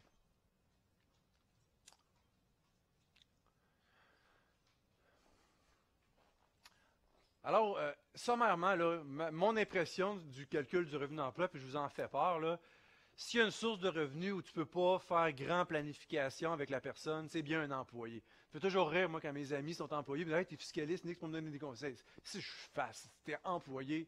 C'est vraiment ça le constat général. en conformité, il y a plein d'affaires à dire, mais en planification, qu'est-ce que tu veux bien proposer à un employé pour qu'il paye moins d'impôts ou qu'il reporte de l'impôt? C'est assez limité. Fait c'est, un, sujet qui est beaucoup plus euh, apte à être traité sous l'angle de la conformité. Parce que, puis dans la vraie vie, euh, c'est pas avec des employés qu'on fait les, plus grandes stratégies de planification. Ça va de soi. Pa- Parce que le principe général au niveau du revenu d'emploi, ça dit tout, tout, tout ce qu'un employeur verse à son employé, toutes les formes d'enrichissement possibles et imaginables, ça devient un avantage imposable. Fait qu'on s'en sort pas. Elle n'est même pas exhaustive, ma liste d'avantages imposables. N'importe quoi qu'un employeur paye à son employé, on va l'imposer, l'employé. Peut y payer de l'inventaire, peut y payer des, des voyages, peut y donner ci, donner ça. Ça va toujours finir par être un avantage imposable. C'est pour ça que c'est c'est beaucoup plus la conformité qui est importante que de penser de trouver des opportunités là-dedans.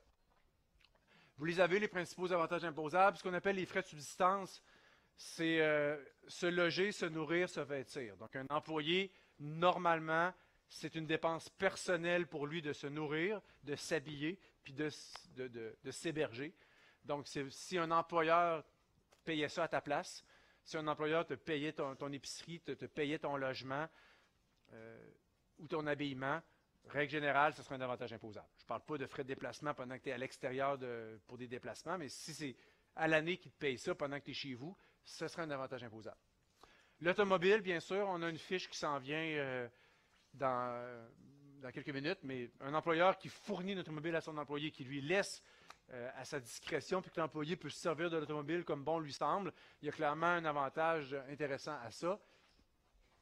Un prêt, d'inté- un prêt avec un taux d'intérêt bas ou nul. Donc, si mon employeur me prête de l'argent, mais qu'il ne me charge pas un taux d'intérêt suffisant, ben, je m'enrichis en ayant une économie d'intérêt. Donc, on va calculer l'avantage imposable en comparant euh, le taux que je paye avec le taux d'intérêt prescrit, qui est de 2% en ce moment dans la loi. Les options d'achat.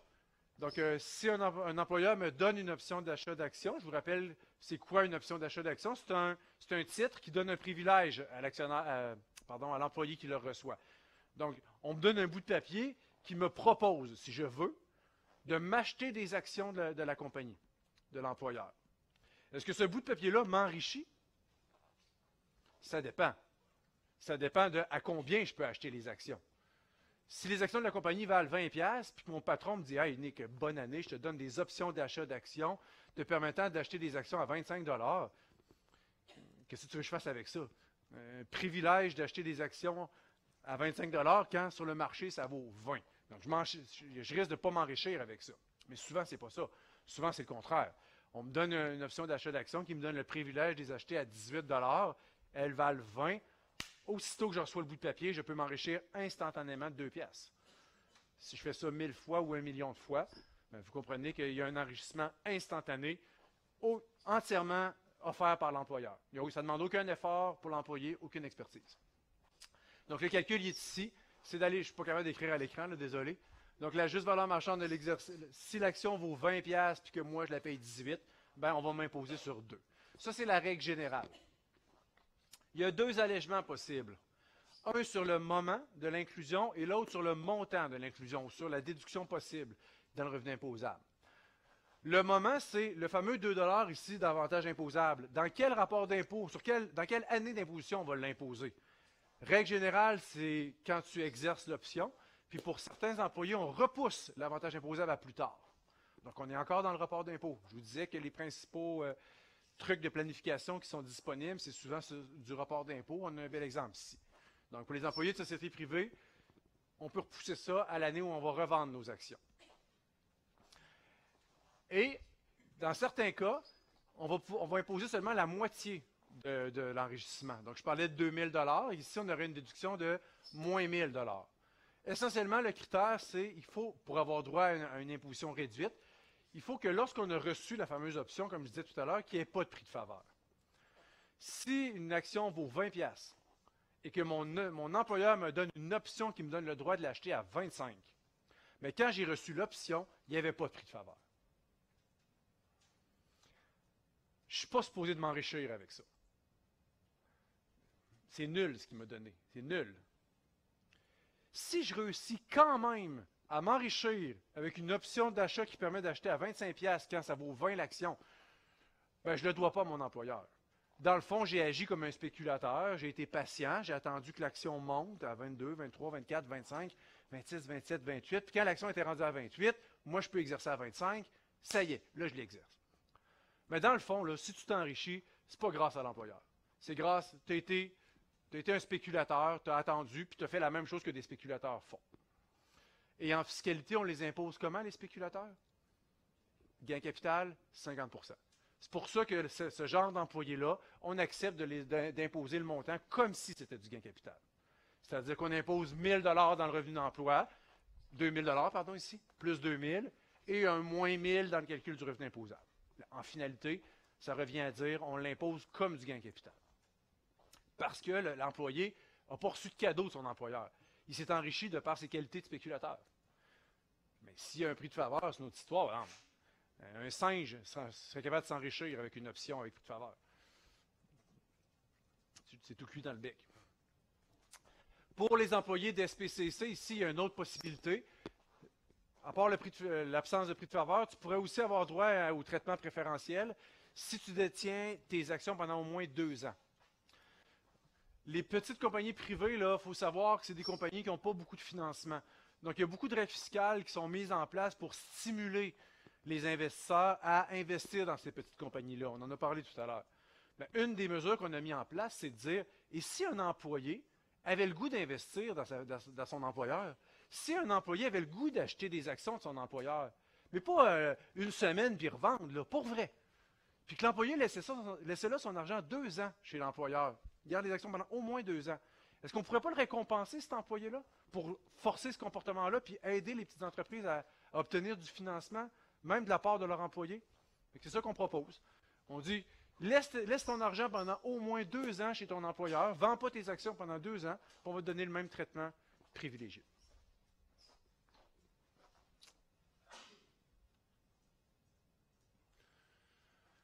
Euh, autre avantage imposable, euh, l'allocation, certaines allocations automobiles versées à l'employé, surtout s'ils sont trop hautes, s'ils dépassent les 55 sous par kilomètre ou s'ils sont, euh, sont même pas basés sur le nombre de kilomètres, ce serait des avantages imposables.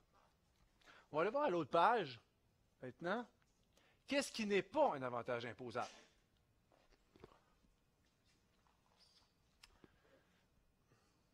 Je vous ai dit d'entrée de jeu, dans le revenu d'emploi, il n'y a pas grand, pas grand allègements à aller chercher là.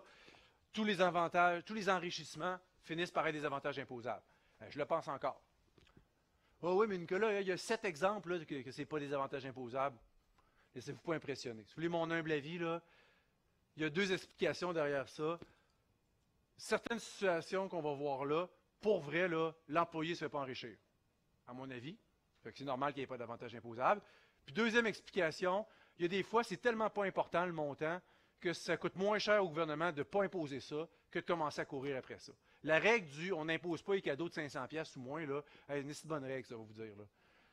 Une bonne règle.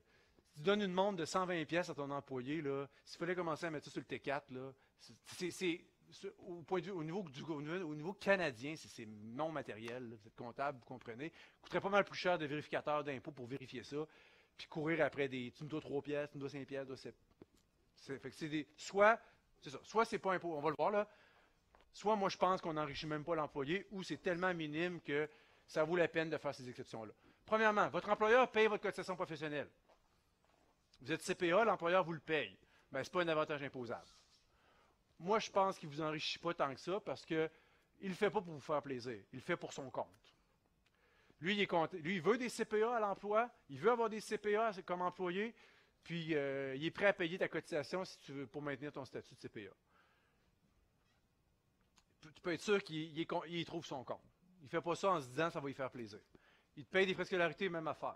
Tu envoies la maîtrise en fiscalité, tu reviens comme fiscaliste, tu lui rends des services pendant trois ans, il est bien content. Il l'a fait pour lui. un, employé qui, un employeur qui paye des frais de scolarité à son employé, où on voit que l'employeur va y trouver son compte, ce n'est pas un avantage imposable. Euh, paiement d'assurance maladie. Donc, on met un régime d'assurance maladie. L'employeur paye des primes pour vous couvrir d'assurance maladie. Waouh, c'est le fun. Mais quand tu vas tomber malade, donc les primes que l'employeur paye ne sont pas imposables. Mais la journée que tu vas tomber malade, par exemple, puis que tu ressors des primes du régime, là, ils vont être imposables. Ce n'est que partie remise. L'allocation euh, raisonnable pour automobile. Vous, êtes un employé, vous prenez votre propre voiture, et vous faites des déplacements pendant votre semaine de travail. À la fin de la semaine, vous venez voir votre patron, vous vous dites Hey patron, euh, toute la semaine, j'ai usé mon auto pour, ton, pour tes besoins. Pourrais-tu me donner une allocation? Il dit Pas de problème. Il donne une allocation de 50 sous par kilomètre. Ce n'est pas imposable. Pour toi qui la reçois, ce n'est pas imposable. T'es-tu enrichi? Moi, je ne pense pas. Tu as usé ton auto? On t'a remboursé l'usure de ton auto. Point final. Si tu n'avais pas pris ton auto, tu aurais, resté là. Tu as usé ton auto, on t'a payé l'usure. C'est sûr que si on te paye 3 pièces à kilomètre, c'est d'autre chose. Mais tant qu'on paye 55 cents ou moins, aux yeux de l'ARC, selon ses calculs à elle, ça fait juste payer l'usure de l'auto. Ah oui, mais ça ne me coûte pas tant que ça, l'essence. Moi, je trouve que c'est payant. parfait, roule avec ton auto si tu veux. Puis on demande des allocations à 55 sous. Mais moi, je pense qu'effectivement, quand tu mets du kilométrage sur ton auto, tu accélères tes changements d'huile, quand tu vas vendre ton auto, elle va être pas mal plus haute en kilomètres, elle va se vendre moins cher. C'est sûr que ça coûte. Tu t'appauvris en maudit quand tu prends ton auto. Fait que de recevoir un 50-55 cents, c'est la moindre des choses, juste pour te remettre en état. On ne parle pas de t'enrichir, là. On parle juste de t'éviter un appauvrissement. Bon, à mon avis.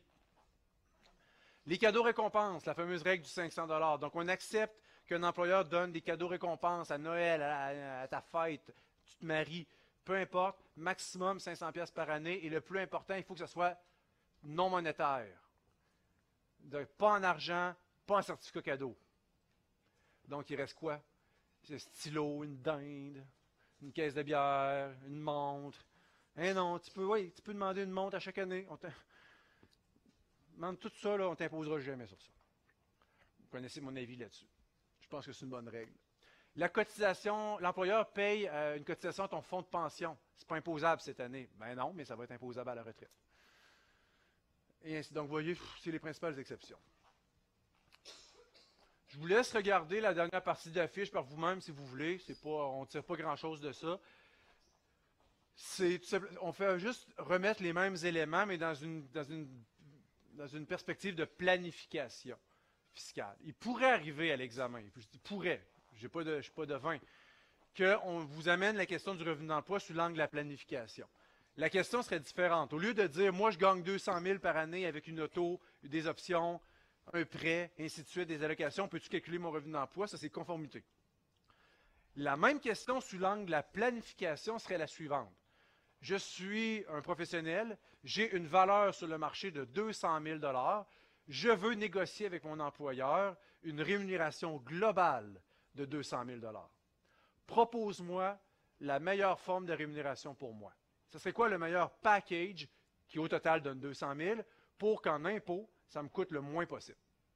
Ce serait, encore une fois une question qui touche le revenu d'emploi, mais sous l'angle de la planification. C'est pour ça que les, thèmes qu'on vient de voir, je vous, ai, ai simplement placés dans nos fameux guides, de nos, fameuses euh, nos trucs pour euh, chercher des, idées de planification fiscale. Mais il n'y a pas, euh, pas une tonne de choses à dire là-dessus. Je vous l'ai dit tout à l'heure.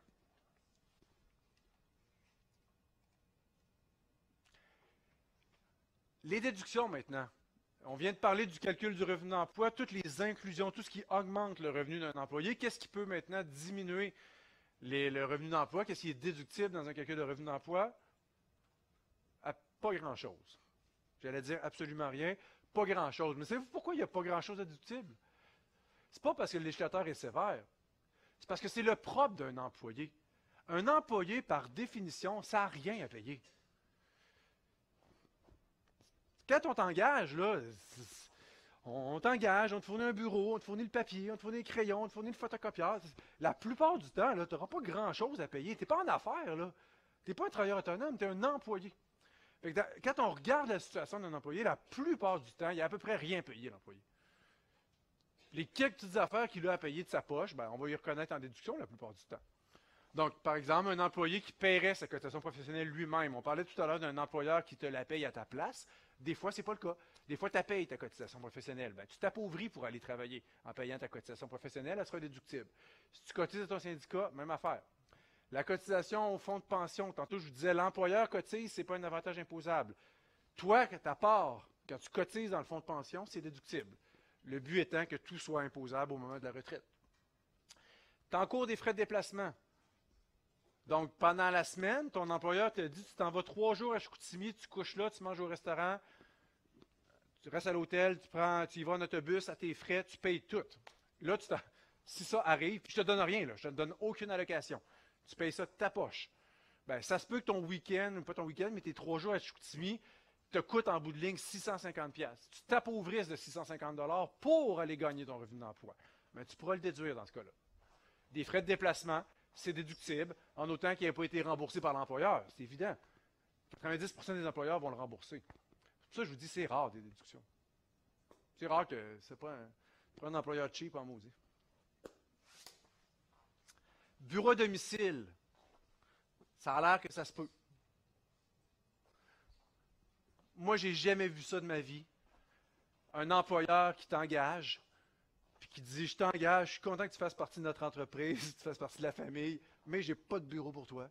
Fait que si tu veux travailler pour mon entreprise, tu restes chez vous, dans ton bureau domicile. Moi, j'ai jamais vu ça. J'ai déjà vu ça pour un travailleur autonome. Un travailleur autonome qui est chez eux, fine, on voit ça en masse. Un employé qu'il n'y a pas de place, qu'on ne donne même pas de bureau, puis qu'on lui dit installe-toi chez vous. Vous avez vu ça, vous me le direz. Mais si ça arrive, un employé qui était obligé d'avoir un bureau chez lui, effectivement, pourrait déduire des frais de bureau à domicile. Rappelez-vous, la forme, on prend les dépenses de la maison, puis on les prorate par la superficie du bureau.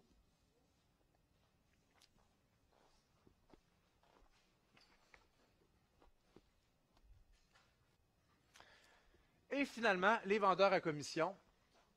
Laissez-moi juste vous euh, faire une petite nuance par rapport à ça.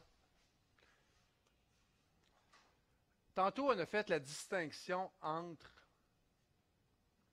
les travailleurs autonomes et les employés. Vous vous rappelez les critères, on les a vus tout à l'heure. Je ne vais pas les répéter. La principale chose qui distingue ces deux groupes de travailleurs-là, je l'ai dit, c'est le risque. Derrière tous les critères qu'on a vus, la trame de fond, c'est le niveau de risque. Un travailleur autonome, il prend des risques. Il n'y a aucune garantie sur le niveau de revenu qu'il va faire ou de perte par rapport à l'employé qui prend aucun risque. Mais il y a une exception pour ça. Il y a certains employés qui prennent des risques.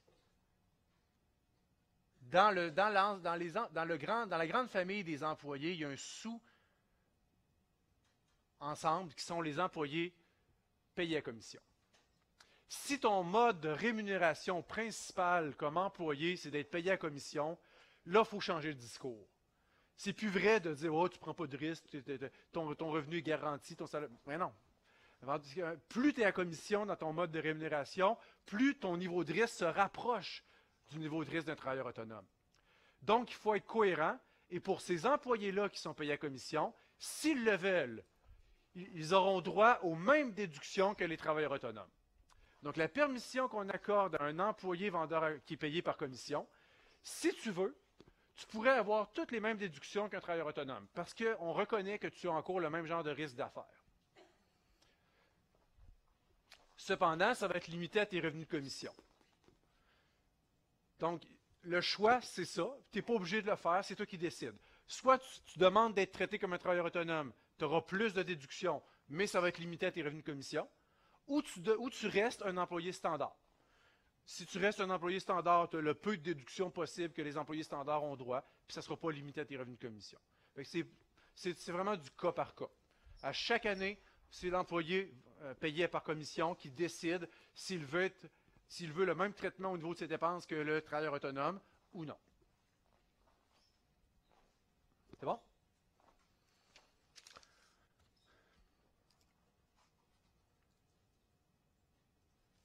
Je vous parlais d'automobile tout à l'heure, on en a un résumé ici. Je fais le tour avec vous. Les flèches font référence à l'impact et pour l'entreprise et pour euh, l'employé. OK. Imaginez que vous êtes une. Vous partez une entreprise, un bureau de comptable. Vous partez un bureau comptable. Vous, là, dans, dans votre entreprise, vous avez besoin que vos employés utilisent une voiture. Ça fait partie de la, business. Il faut que vos employés se promènent en auto. S'ils disent, mais moi, je veux y aller en autobus, ça ne marche pas. Ça me prend des employés qui se promènent en auto. Bien, dans la vraie vie, vous avez quatre choix. Première option, vous dites à vos employés, toi là, toute la semaine, tu prends ton auto. Fait que cette semaine, je t'envoie trois jours à Chicoutimi, tu prends ton auto, tu t'envoies à Chicoutimi, tu fais client A, client B, client C, tu fais le tour du parc, et jeudi, tu reviens. Donc, tu, eux, donc, finalement, je veux que tu prennes ta propre auto. À la fin de la semaine, tu reviens me voir, tu dis, hey, Nicolas, euh, ça m'a coûté, moi, euh, en, usure d'auto, me rendre à Chicoutimi, 650 km, pourrais-tu me verser une allocation? pour me dédommager. J'ai fait ça pour ton entreprise. Ma réponse, pas de problème, je vais te verser une allocation jugée raisonnable par l'ARC, je vais te verser 50 cents par kilomètre. Donc, ça va être quoi le traitement pour moi dans mon calcul de revenu d'entreprise si je te verse une allocation de 50 cents kilomètre? C'est déductible pour moi. Pour moi, c'est une dépense au même titre qu'une dépense de salaire. Pour toi qui la reçois, on traite ça comment? On en a parlé tantôt. 50 cents le kilomètre, pas imposable. je ne t'ai même pas enrichi, je t'ai juste remis en état. Deuxième scénario, c'est la même situation. Tu reviens me voir le vendredi, hein, Nicolas, Nicolas, euh, j'ai usé mon auto, je peux te faire une allocation. Et ma réponse est non. N'êtes pas habitué de vous faire dire non? Oui, mais là, non. Oui, mais mon. Non. Moi, je t'ai tout mis dans ta rémunération. Je te paye. Tu es un jeune comptable, je te paye 325 000 par année. Lâche-moi les allocations. OK? Moi, là, j'ai tout mis dans ton salaire, tout est là. Quand même que tu perdras 600-700$ en usant ton auto, gâté en masse, bien payé. Fait qu'il y a des employeurs qui c'est pas d'allocation. Pour moi, il n'y a, rien à déduire, je t'en paye pas. J'ai refusé, je n'ai pas accepté. Et pour toi, c'est qu'est-ce qui arrive dans cette situation-là? Est-ce que je t'ai enrichi? Non. Est-ce que je t'ai remis en état? Non. Est-ce que tu t'es appauvri? Oui, donc tu déduis. Donc, suivez la flèche rouge, je ne pas dans le bon sens, là, mais la flèche rouge pour l'employé, il est dans une situation de déduction. Troisième scénario possible, c'est trop compliqué les allocations. C'est trop compliqué, tout le monde chiale. Oubliez ça. Laissez vos autos chez vous. Moi, j'achète une flotte d'autos, moi l'entreprise. J'ai 25, vous êtes, 20, vous êtes 40 dans la classe. J'achète 40 chars, je vous en fournis un chacun. vous allez tous avoir une auto fournie par la compagnie. Comme ça, quand je vais vous demander d'aller à Chicoutimi, vous ne me charlerez pas, j'ai usé mon auto. Non, vous allez prendre mon auto. Vous allez user mon auto que je vous fournis quand vous avez besoin de faire des déplacements d'affaires et vous l'amenez chez vous, puis vous, si vous avez besoin en fin de semaine, vous la prendrez. Ben, pour moi, c'est clairement déductible. Tout, tout, tout, ce que ça va me coûter pour maintenir cette flotte d'auto-là, c'est l'équivalent d'une rémunération payée, encore une fois. Je peux déduire tous les, changements d'huile, tout ce que ça me coûte pour garder ça, l'assurance de ce parc automobile-là, et ainsi de suite. Changement d'huile, l'essence. Vous, on en a parlé, c'est un enrichissement. Un employé qui se fait fournir une auto et qui peut l'utiliser à des fins personnelles, il y a clairement un avantage imposable. Donc, il y aura un, droit d'usage et un frais de fonctionnement à calculer. Quatrième situation, je ne vous paye pas d'allocation, trop compliqué. Je vous fournis pas d'auto, ça coûte trop cher. Dernière situation, ben, laissez faire, je vais y aller moi-même. je ne demande pas à mes employés d'aller à Chicoutimi, si vous chialez trop, allez-y pas d'abord. Moi, je saute dans mon auto, puis j'y vais à Chicoutimi. Moi, l'entrepreneur, le travailleur autonome, moi, je suis un travailleur autonome, j'ai 40 employés. Vous n'arrêtez pas de chialer à chaque fois que je vous demande d'aller à Chicoutimi. Laissez faire, j'y vais. je saute dans mon auto, j'use mon auto personnel pour aller à Chicoutimi pendant trois jours. Donc, vous, ça ne vous concerne pas. Il n'y a pas d'impact pour vous. Je ne vous ai pas enrichi, je ne vous ai pas appauvri, je ne vous ai rien demandé. Mais pour moi, je me suis appauvri. Un travailleur autonome qui prend sa propre voiture personnelle pour faire des déplacements d'affaires peut les déduire dans le calcul de son revenu d'entreprise. Avec la même formule qu'un employé. On prend la liste de toutes les dépenses automobiles, encouru, puis on peut déduire une fraction du kilométrage euh, représenté par les kilométrages qui ont été faits pour les fins d'affaires sur le kilométrage total. C'est beau? Pas mal, ça, peu importe ce qui arriverait dans une situation d'automobile à l'examen, c'est nécessairement une de ces, un de ces scénarios-là. C'est pas mal exhaustif.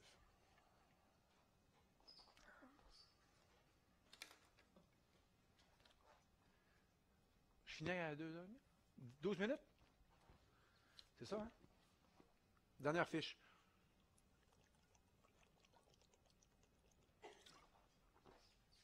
Page 19, s'il vous plaît. Une fiche qui s'appelle Planification financière personnelle.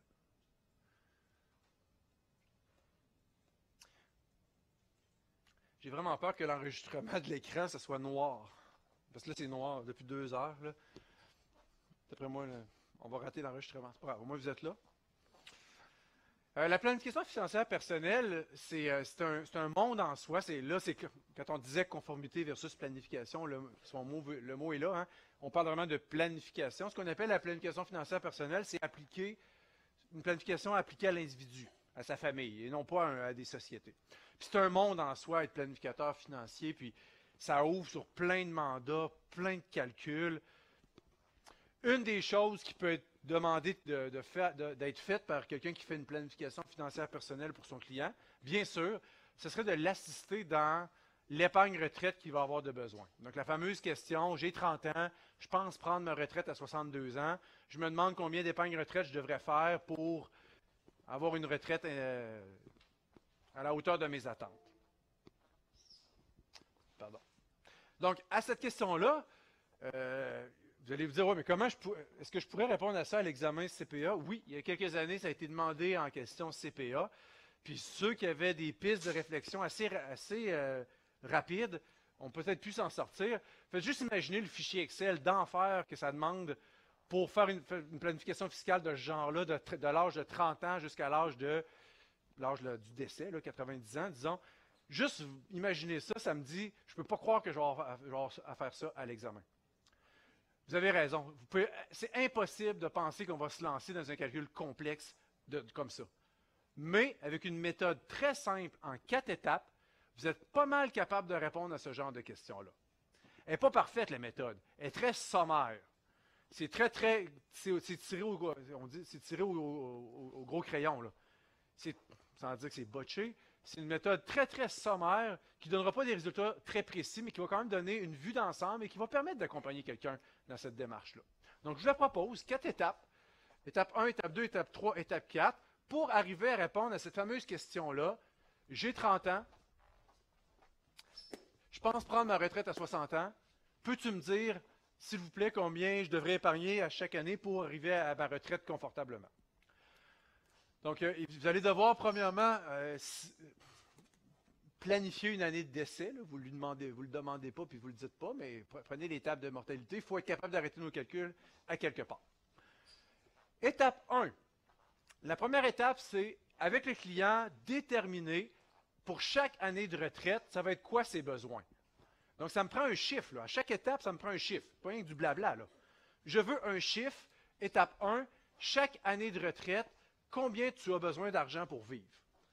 Ça, l'étape 1, elle est symbolisée par les petites flèches vertes. Là, là, là, là, puis là. Donc, euh, je peux poser des questions au client. Euh, vous, à la retraite, vous pensez faire quoi? Voyager, tout ça, ouais, ouais, ouais, ouais. Le client me dit, moi, en ce moment, je fais un salaire de 100 000. J'en ai pas je vis très bien, je n'en ai pas besoin de plus. Euh, bon, là, tu te dis, ouais, à la retraite, je suis peut-être pas obligé de il y a une règle qui dit qu'à la retraite, on consomme moins qu'à durant la vie active. peut-être que 60-70% du salaire que tu avais dans ta vie active suffira. Bref, tu accompagnes le client là-dedans. Il y aura sûrement des indices dans le cas pour t'aider à trouver ce chiffre-là, mais il faut que tu arrives à un chiffre. Admettons, pour fin de discussion, qu'on dit on va prévoir à la retraite des revenus de 60 000 par année. Ça, c'est l'étape 1. 60 000 par année. Pas une fois 60 000 par année. Vous me suivez? Étape 2. Ça, c'est symbolisé par les flèches roses. Pour ces mêmes années-là, pour chaque année de retraite, combien tu penses faire de revenus? Ah, c'est le contraire. Les revenus, il faut qu'ils soient plus petits que les dépenses. On inverse les couleurs. La petite flèche, c'est les revenus. La grosse flèche, c'est les dépenses. Donc, à ta retraite, combien tu penses de faire de revenus par année? Ben, là, j'ai ma pension de la Sécurité de la vieillesse, 8 000 J'ai ma riche des rentes du Québec, 15 euh, 000 euh, j'ai un fonds de pension, je suis infirmière. Selon mon relevé, je serais supposé faire à peu près 30 000 par année à la retraite. Bon, mais puis as-tu d'autres choses? Vends, j'ai un immeuble, je pense le vendre. OK, ça va générer à peu près, ou je pense le garder, il me génère à peu près 8 000 par année. Parfait. On additionne tout ça, on arrive à des revenus de 50 000 par année. Ça, c'est l'étape 2. Ça me prend un chiffre, ce n'est pas juste du blabla, je le répète. 50 000 Donc, il y a un manque à gagner, vous voyez? Les, besoins sont de 60 000 par année et les revenus sont de 50 000 par année. Donc, à chaque année, c'est facile à voir, il manque 10. Il manque 10 000 de revenus, pas une fois, par année de retraite. Souvent, c'est le constat qu'on fait après l'étape 2. Il en manque. Si votre constat, c'est qu'il n'en manque pas, si elle me disait, j'ai besoin de 60 000, je pense que je vais en faire 100 par année. Parfait, ça finit là. On voit bien que tu vas y arriver, pas besoin d'aller plus loin, mais la plupart du temps, ce n'est pas ça. Donc ici, il y a clairement un manque à gagner de 10 000 par année. 10 000 par année. Étape 3. Je vais prendre tous ces 10 000 $-là qui nous manquent pour chaque année de retraite et je vais, je vais actualiser ça en un montant unique le premier matin de la retraite. Dis, autrement, avec les taux de rendement qu'on connaît sur le marché, combien d'argent ça prend dans un bas de laine le jour 1 de ta retraite, le premier matin que tu te lèves de ta retraite, pour que ce montant-là, tu l'égrènes avec du rendement et que ça te génère pile le 10 000 par année qu'il te manque. Donc, ça se fait ce calcul-là, calcul-là avec une calculatrice financière ou avec un Excel. Donc, il me manque 10 000 par année pendant 32 ans de retraite. J'actualise ça au jour 1 admettons que ça me donne à l'étape 3 un manque de 124 000 Je vais aller plutôt le mettre en haut ici. 124 000 Donc l'étape 3, c'est le, ça me prend 124 000 le premier matin de ma retraite dans mon compte de banque pour être capable d'égrener ça 10 000 par année jusqu'à mon année de décès on pourrait arrêter après l'étape 3. La fille a 30 ans. Je peux lui dire, écoute, écoute euh, jeune fille, j'ai fini mon analyse, puis assure-toi que le premier matin que tu es 62 ans, que tu aies 124 000 pièces dans ton compte de banque. Parce que c'est ça que ça te prend pour combler ton manque entre tes revenus et tes dépenses à la retraite. C'est un peu incomplet. la fille a 30, 30 ans. On va dire, ouais, mais tu peux-tu m'accompagner un peu là-dedans? Qu'est-ce que je dois faire comme geste d'épargne à partir d'aujourd'hui pour faire construire ça, une épargne de 124, 124 000 disponible le premier jour de ma retraite? C'est la dernière étape. Donc, l'étape 4, c'est les flèches ici, vers le bas. Sachant que ça prend 124 000 de disponible le premier jour de la retraite, quelle épargne cette fille-là doit-elle faire à partir d'aujourd'hui, à chaque année, pour se construire un capital de retraite de 124 000 la première journée de sa retraite? Vous prenez votre 124 000 vous faites une valeur des paiements pendant 30 ans avec un taux de rendement pour lequel vous posez l'hypothèse, et ça pourrait vous donner quelque chose comme étape 4, disons par exemple 2400 dollars par année. Donc voilà, en quatre, en quatre étapes simples, à votre portée, parce qu'avec un fichier Excel puis des formules Excel d'actualisation, on est facilement capable de faire ces quatre étapes-là. Ce n'est pas parfait, ce n'est pas archi précis, mais ça donne un ordre de grandeur. Donc je, je résume. Je dis à cette fille-là qu'elle devrait, à partir d'aujourd'hui, épargner 2400 dollars par année avec un certain rendement, ça va lui générer un bas de laine de 124 000 le premier jour de sa retraite. Et avec un bas de laine de 124 000 disponible le premier jour de ta retraite, une fois que tu égrènes ça sur chacune de tes années de retraite, ça va générer exactement le 10 000 manquant que tu as besoin entre tes revenus estimés et tes besoins estimés pour chaque année de retraite.